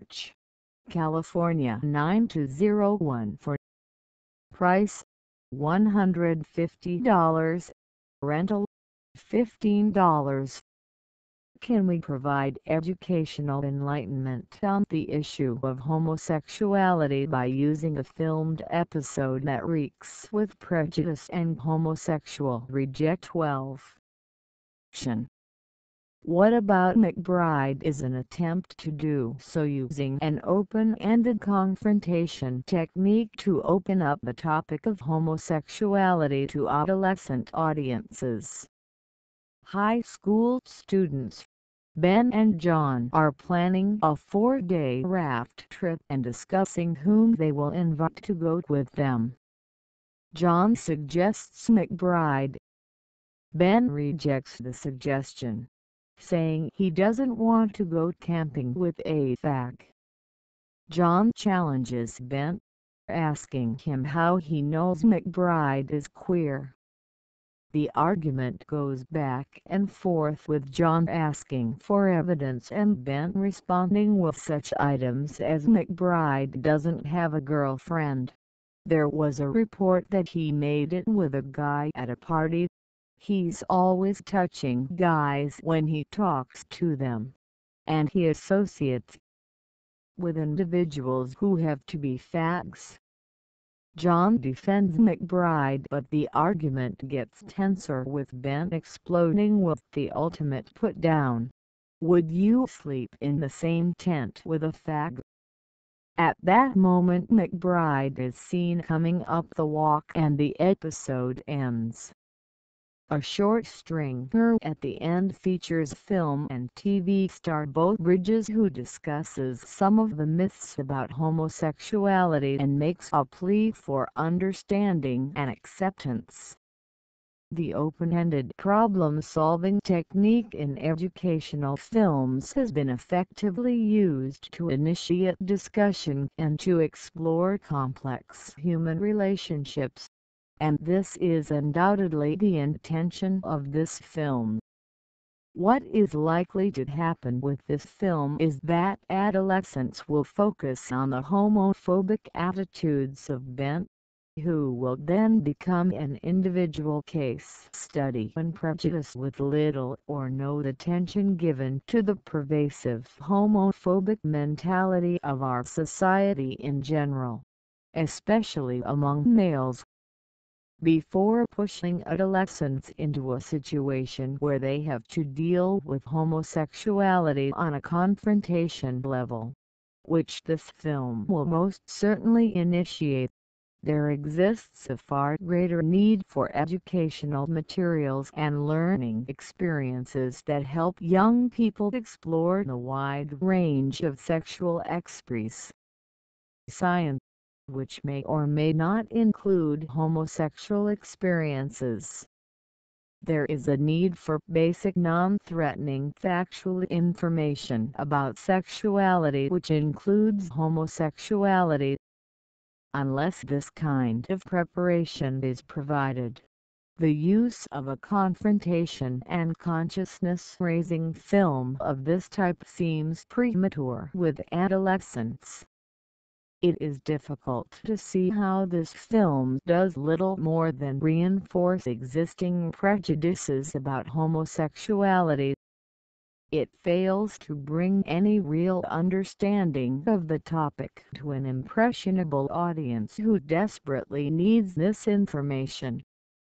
The 12-page instructor's guide accompanying this film to offer concise and accurate background information and a good bibliography on homosexuality, as well as helpful suggestions for using the film.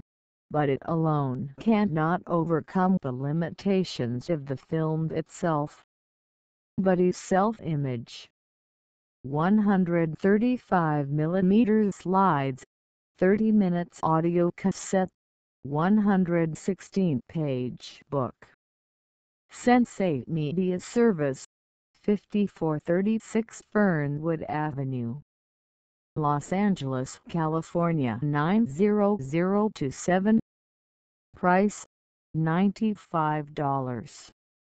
This collection of materials is intended for counselors and therapists interested in learning specific techniques of body awareness training. The approach is based on methods developed by William Hartman and Marilyn Fithian at their Center for Marital and Sexual Studies in Long Beach, California. From their extensive work in sexual therapy they have learned how frequently negative attitudes about body image interfere with healthy sexual functioning. The step-by-step -step methods presented in this AV program clearly demonstrate group techniques that can well serve as a model for therapists interested in body awareness training. The techniques shown in this program can be conducted with small groups who are fully clothed, in bathing suits or in the nude. This is an option the group chooses. The participants appearing in the slides of this particular continued on page 15 SIECUS report, May 1975 Journal The Family Coordinator National Council on Family Relations 1219 University Avenue SE Minneapolis Minnesota 55414 reviewed by Lester A. Kirkendall Ph.D. Reviewization process and its impact on subsequent premarital sexual behavior a complex social psychological network of variables which influences premarital sexual behavior was found. Individuals pass through stages from hand-holding to kissing to light petting to heavy petting to intercourse. The speed with which one moves through them depends on a number of biological, physical and social psychological variables such as physical attractiveness, dating frequency, peer group-oriented sex education, and adolescent sexual experiences. The chain of sexual decision-making. And McCreary has a six-stage model for sexual decision-making with considerations and implications inherent at each stage is presented emphasis is on the effect various decisions will have upon child, parent, extended family, and society as a whole, and upon long-range rather than on short-term implications. The model is based on six basic questions. Shall there be or not be one intercourse? Two children. 3. Birth control. For delivery of child. 5. Retention of child and 6. Marriage. Homosexuals Moreover attitudes toward homosexuals to be associated with ambiguity and cognitive nickel research findings suggestions made art visibility of masculine sexuals may assist the movement, and that the men is well advised to port lesbianism. Negative it were found in tolerance of rigidity. TechCare reported that increased male homogeneity liberation feminist moved strongly sup. January 1975 Changing sexual references in mass circulation magazines Edward S. Farrell and Marnie E. Foster Within the years 1963 to 1973 six mass circulation magazines Reader's Digest, McCall's, Ladies Home Journal, Good Housekeeping, Time, and Chatelaine, a Canadian magazine, were studied to determine trends as they related to sexual functioning, sex roles, sexual problems, premarital and extramarital intercourse. Changes toward both greater explicitness and more liberal views concerning premarital sex were found. There was some relaxation in those views which have denied contraceptives to teenagers. The effects of a sex education course on the sex role perceptions of junior high school students Ant Steinman and Anthony P. Jurek the objective of this research was to find if sex education and sex role information would provide a blend of both intra and extrafamilial satisfactions so far as sex was concerned. This perception was found among male but not the female students the best explanation of these results seemed to come from the differential socialization of males and females. Throughout childhood males receive less extensive and intense socialization toward the traditional marriage and family than do females. It is important to discuss alternatives to rigid sex role stereotypes with females. Sexualization and premarital behavior. Graham B. Spanier. This is a study of the Sexual SIECUS report, Make 1975 Sexual Socially. Journal. Of Homosexuality W 72nd Street, New PH.D. Haworth Press 130 York, New York 10023 reviewed by Lustra. Public attitudes toward homosexuality, part of the 1970 National Survey by the Institute for Sex Research. Eugene D. Levitt, Ph.D.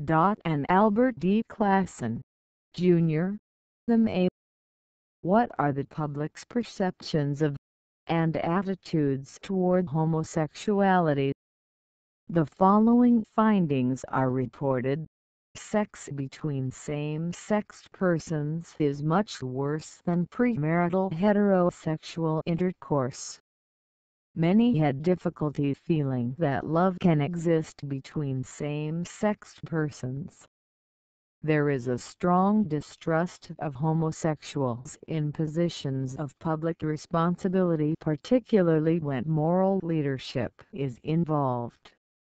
almost half agree many strongly that homosexuality can cause civilization's downfall.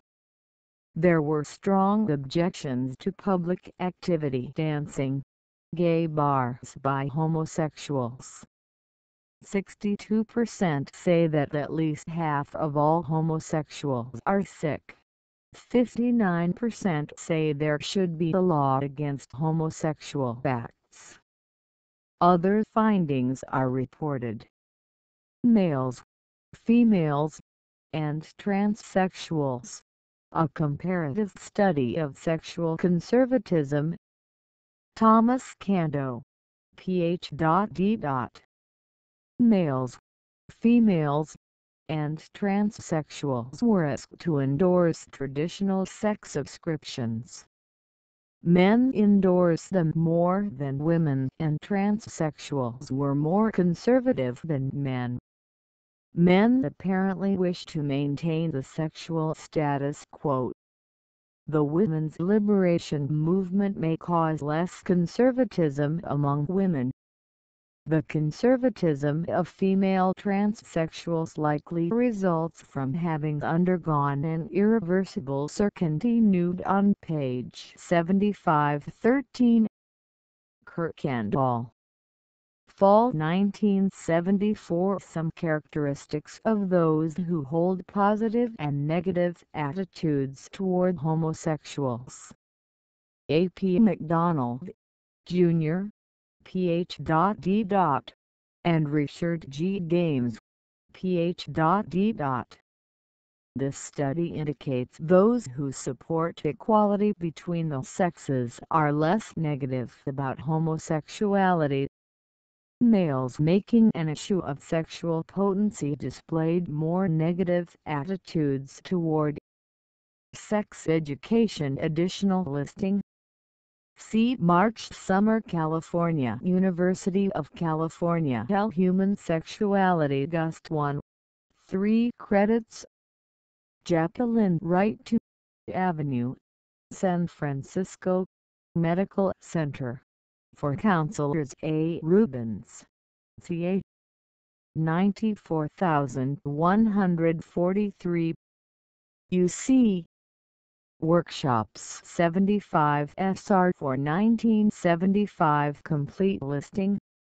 Right to Dean of Summer Sessions EFSC East Stroudsburg Pod 18301 Rietman Administration. Building. Utah L. University Family. Life. Of Utah. Education. Salt. Lake City. Workshop. Utah. 580 R7 July. July. 14 2 July 25 3 Credits. San and Medical Francisco Educators. Center. CA July 21, 727 L Family Counseling Workshop. Division of Continuing Right to Society of Utah Salt Lake City, Utah 582 R7 Education 84112 12 19 26 3 credits. 1169 Annex. University 2 Own. Parnassus Virginia University of Virginia. Charlottesville VA Bell EDHP 567, Human Sexuality July 8 to August 14. Bay Howell, Health Education Ruffner Wright 2, underscore Dr. Keith Versity of Virginia, Charlottesville, Virginia 22903 Institute 3 credits Hall Uni Southern Connecticut State College, New Haven, Com. L. Sex Education Institute, June 30 to July 25, 6 credits. Mr. Arlen Hutchison, Director of Sex Education Right to 501 Crescent Street, New Haven, Com. 06410 New Staten Island Community College. 0B-030 Biological Approach July 16 3 credits. Dean J. Stanley below. Right to Ben White 10301 York Staten Island. Ben White to Human Sexuality 715 Ocean Terrace. Postgraduate in Sexual June Staten 12th Island. 2 Workshops Dysfunction. North Carolina. University of North Carolina. Greensboro. Ben CLHEA 560-7 Human Sexual Relationships May 27 to July credits. 0 HEC 412 to 7 Family Relations. July 7 to August 12 3 credits. Right to Chamey University of North Carolina Greensboro. 27412 2 3 then C.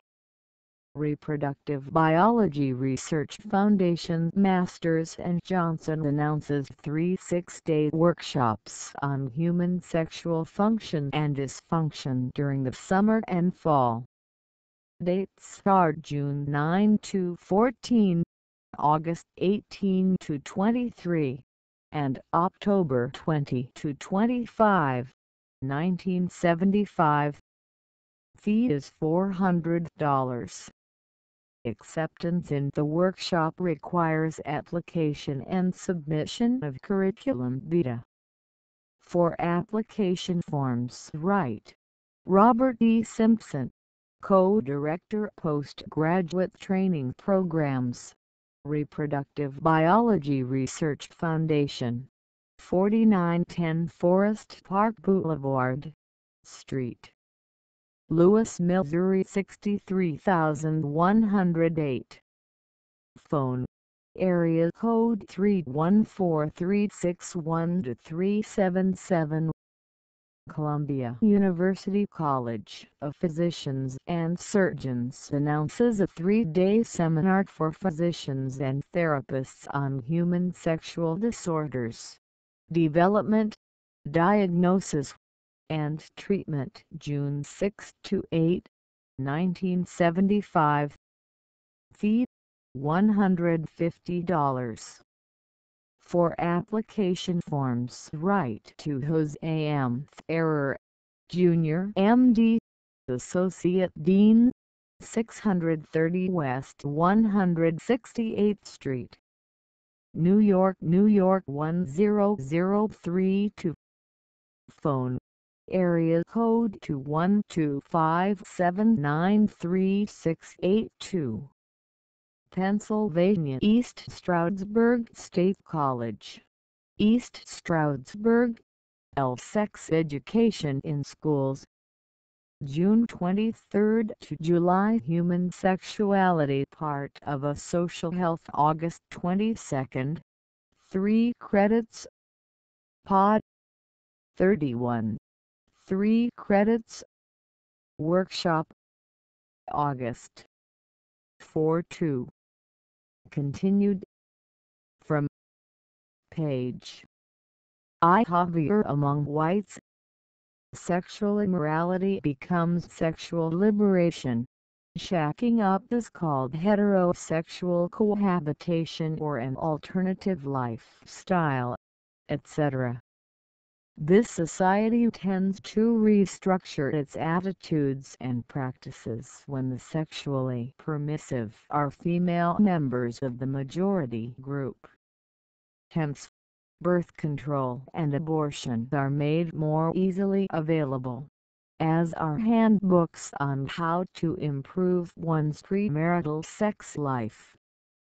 Thus while many of us can agree that sexual enlightenment and abolition of the double standard are marks of human progress, we must also agree that if the same kinds of sexual behavior were found primarily among the black population, the result would most likely be the collective indictment of an entire racial group and concomitant denial of its civil and human rights.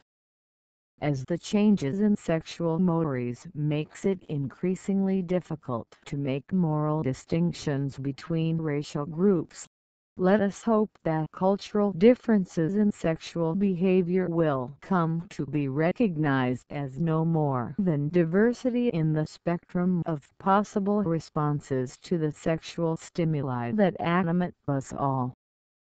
Designations of racial groups as superior or inferior on the basis of their sexual values and behavior have no place in a whether in movies, television or popular literature.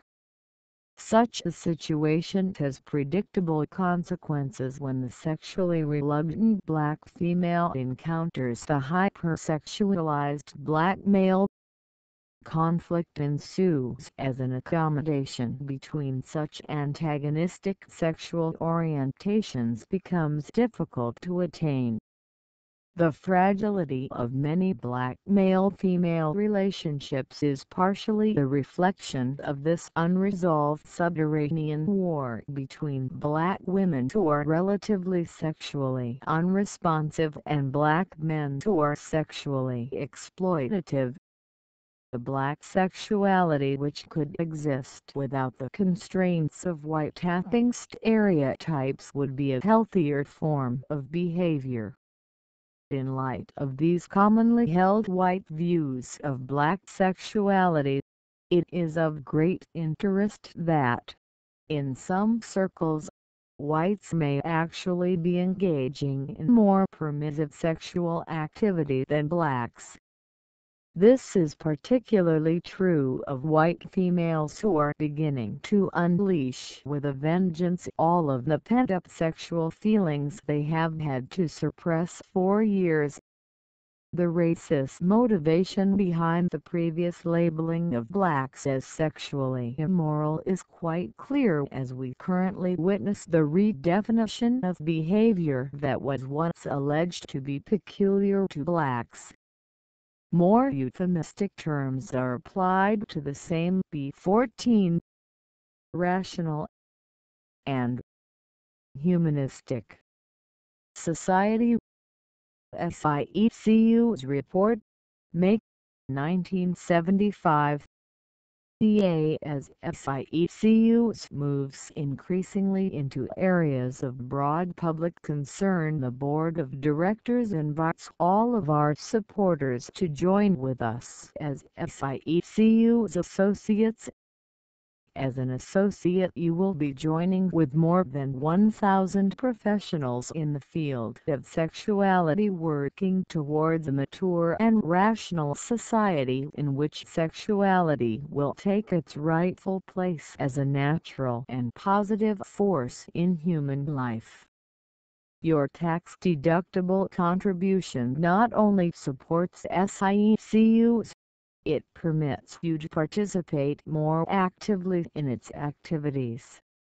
Your associate card entitles you to a one-year subscription to SIECUS Report L an annotated bibliography on human sexuality L a special discount on all SIECUS publications and reprints L reduced registration fees at SIECUS conferences. Of general interest L advance notice and reduced fees to any SIECUS conference limited to your professional field.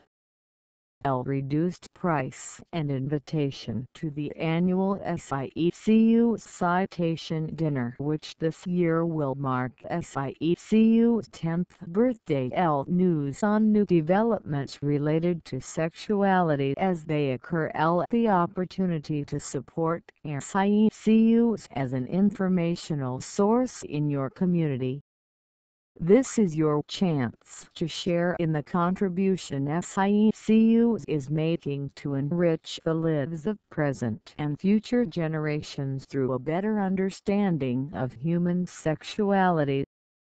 We hope you will accept our invitation to join with us in this vital work.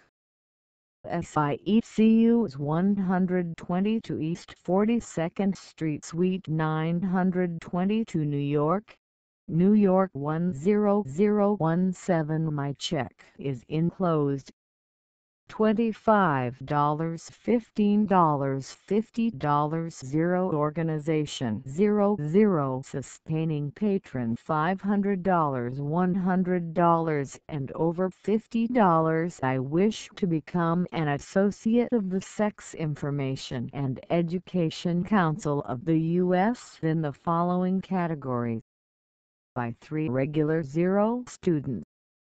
Q contributing name, mailing address, city, state, zip, profit dot slash bus dot, affiliation, position, journals continued Jerry.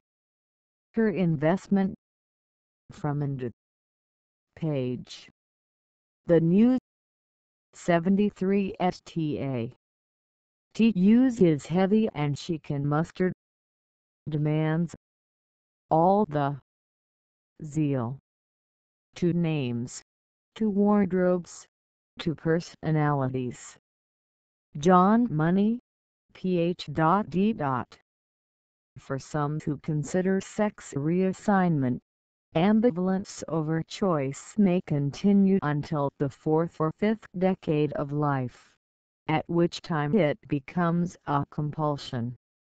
Some have legal, financial and moral commitments which must be resolved if reassignment is to be successful. Gender role identity becomes established developmentally through a complex intermingling of identification, that is, becoming like members of one's original sexual assignation, plus becoming able to reciprocate the behavior of the other sex. The Atascadero Arrow Project model of a sexual retraining program for incarcerated homosexual pedophiles Michael Serber M.D. and Chlordian Keitham.A. This describes the sexual retraining program at a maximum security prison hospital that houses primarily pedophiles. It consists of desensitization and education of the prison staff, cooperation with gay groups, and sexual retraining of homosexual pedophiles in the direction of adult homosexual behavior. The paper reviews that psychiatric literature which maintains that homosexuality is a psychopathological condition. It suggests that in the criminal system homosexuals justice should be provided meaningful social and psychological services Psychological test data on female homosexuality.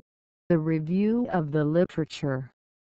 Bernard F. Riess, Ph.D. Jean Safer, them A. and William Yadav. The critical and comparative review of existing studies on responses by female homosexuals to projective and non-projective tests. Much data is contradictory, but there is some consistency of findings. female homosexuals seem to differ from male homosexuals in psychodynamics and to have no more psychopathology than heterosexual female controls. SIECUS report, May 1975 audiovisual continued from page 72 program are in the new. They represent a range of body shapes and sizes and age. Real people. Not Playboy or Playgirl models. The narration on the cassette spoken by the male and female group leaders explains the procedures starting with drawing a picture of oneself on newsprint, standing clothed in a circle and sharing the reasons behind one's choice of clothing. On this particular day, disrobing and standing in front of a foot-length J-weight mirror and commenting on one's feelings about all parts of the body from head to toe comparing one's own perception of one's body with the perception of others in the group. Throughout the sequence of activities the group leaders, who are themselves participants in the group, play a supportive role. One man speaks with pride of the scar on his chest from open heart surgery that to him symbolizes a new life. A woman shares her positive feelings about the stretch marks on her abdomen which remind her of her role as a mother of which she is justifiably proud.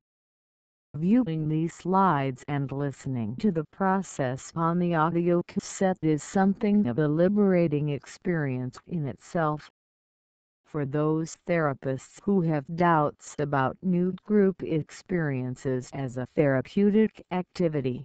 Viewing this training model should at least lower the anxiety level. For many the methods and techniques of sex therapists are still the source of curiosity and titillating interest.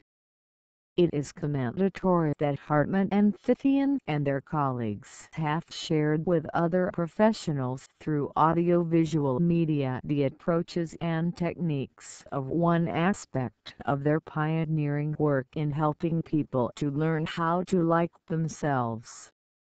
If limited budgets prohibit the purchase of this complete program, one can get the essence of the body awareness training techniques by reading the 116-page illustrated book which can be purchased separately for $3.95. 15. Grave accent SIECUS Officers 1975 J.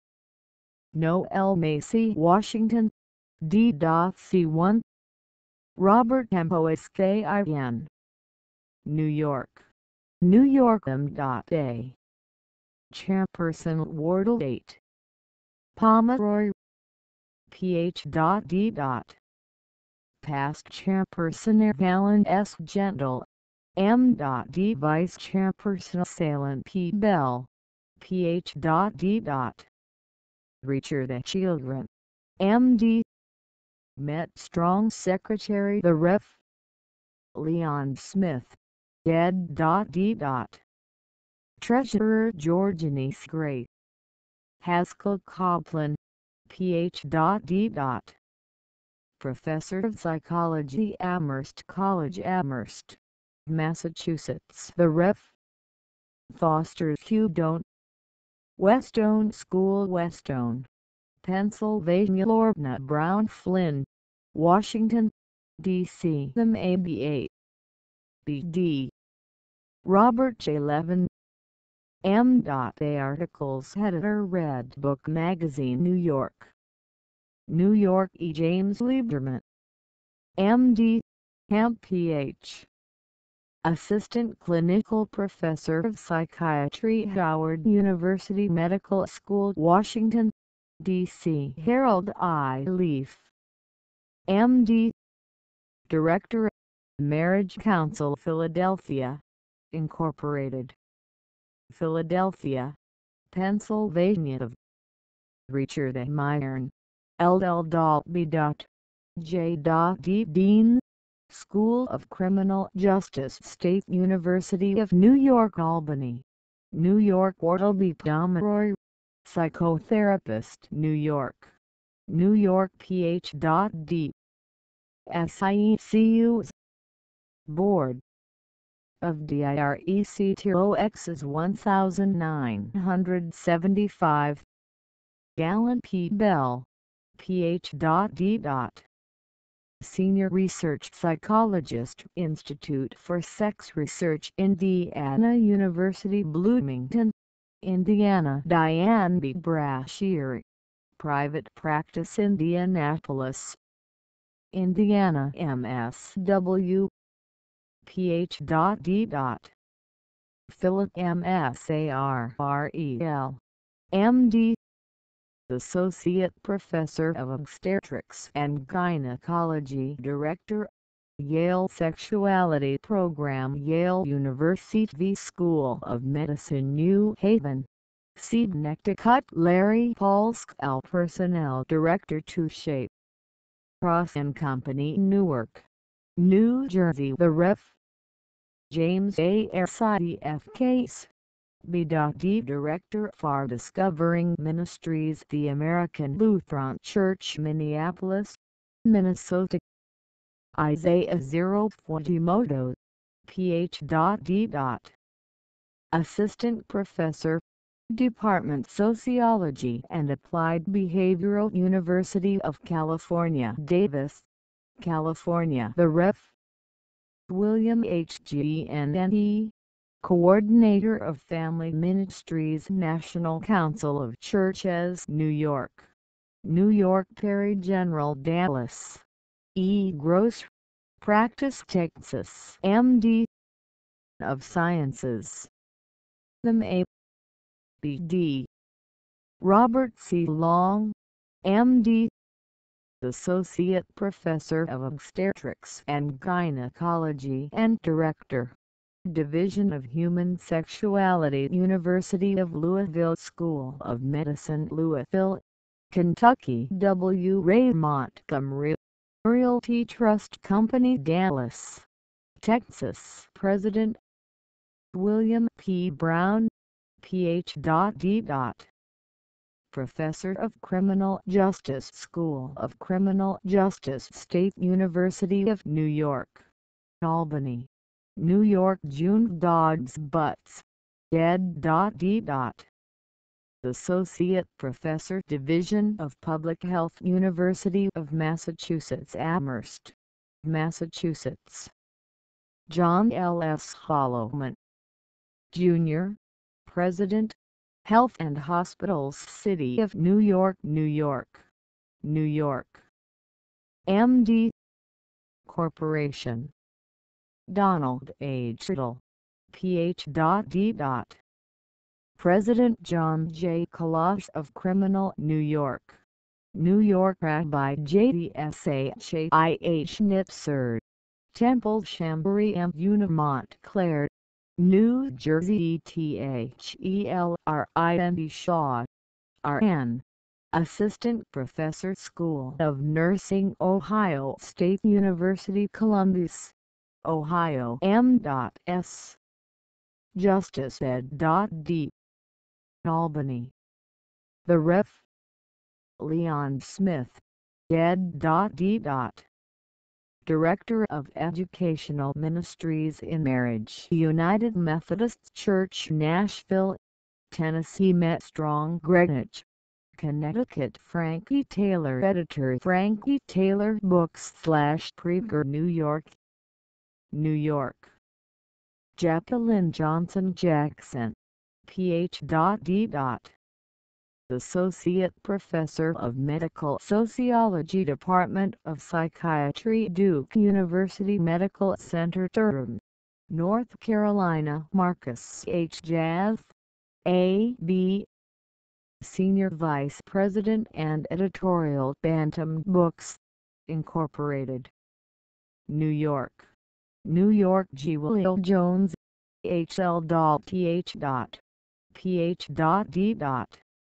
Associate Professor of Film Art Southern Methodist University Dallas, Texas Garrett F. Kelly, M.Ed.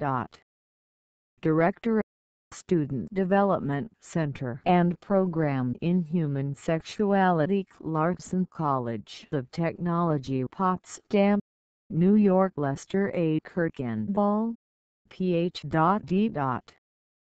Professor Emeritus of Family Life Education Oregon State University Corvallis, Oregon Rabbi Bernard K.L.I.G.F.E.L.D. M. A. Temple Emmanuel of Long Beach Long Beach, New York Daniel H. Labby, M.D. Professor of Medicine and Psychiatry University of Oregon Medical School Portland, Oregon Director Michael Ferreira, ed. D. Associate Professor of Health Education Community Health Education Program Hunter College School of the Health Sciences New York New York Richard S. E. H. I. L. G. R. E. N. M.D. Director Program in Human Sexuality University of Minnesota Medical School Minneapolis Minnesota Allen S. G. N. D. E. L. M.D. Director Division of Maternal and Child Health on Leave Kansas State Department of Health Topeka, Kansas Georgianese Great Chairman of the Board Capital City State Bank and Trust Co. Topeka, Kansas Ralph S. L. O. V. N. K. O. Ph.D.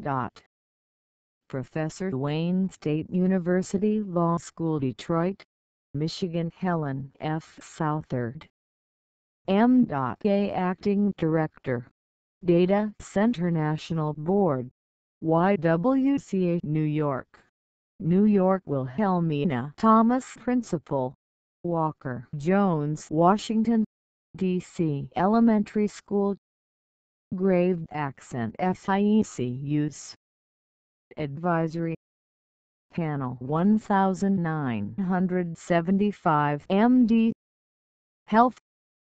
Robert L. Arnstein Psychiatrist in Chief Department of University Yale University New Haven, Connecticut. Earl UBELL Director. Local TV News New NBC and New York. New York Vernon Wilson, MD Vice Chancellor for Medical Vanderbilt College Nashville, Tennis and A.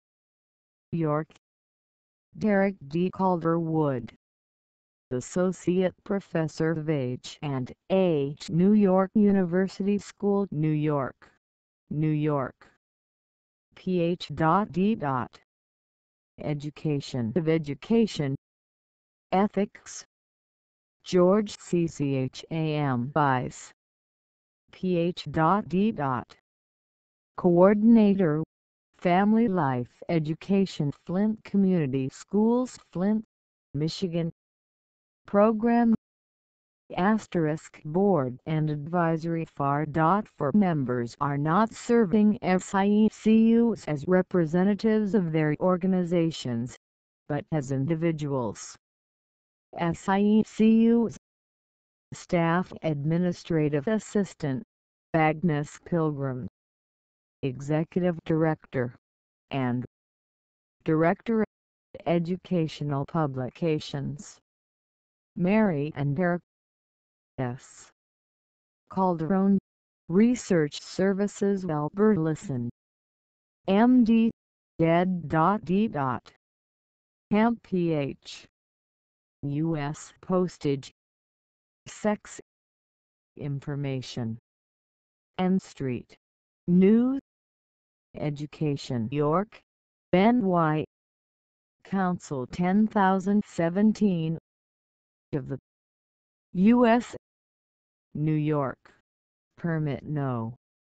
Ben NY 3696 122 East 42nd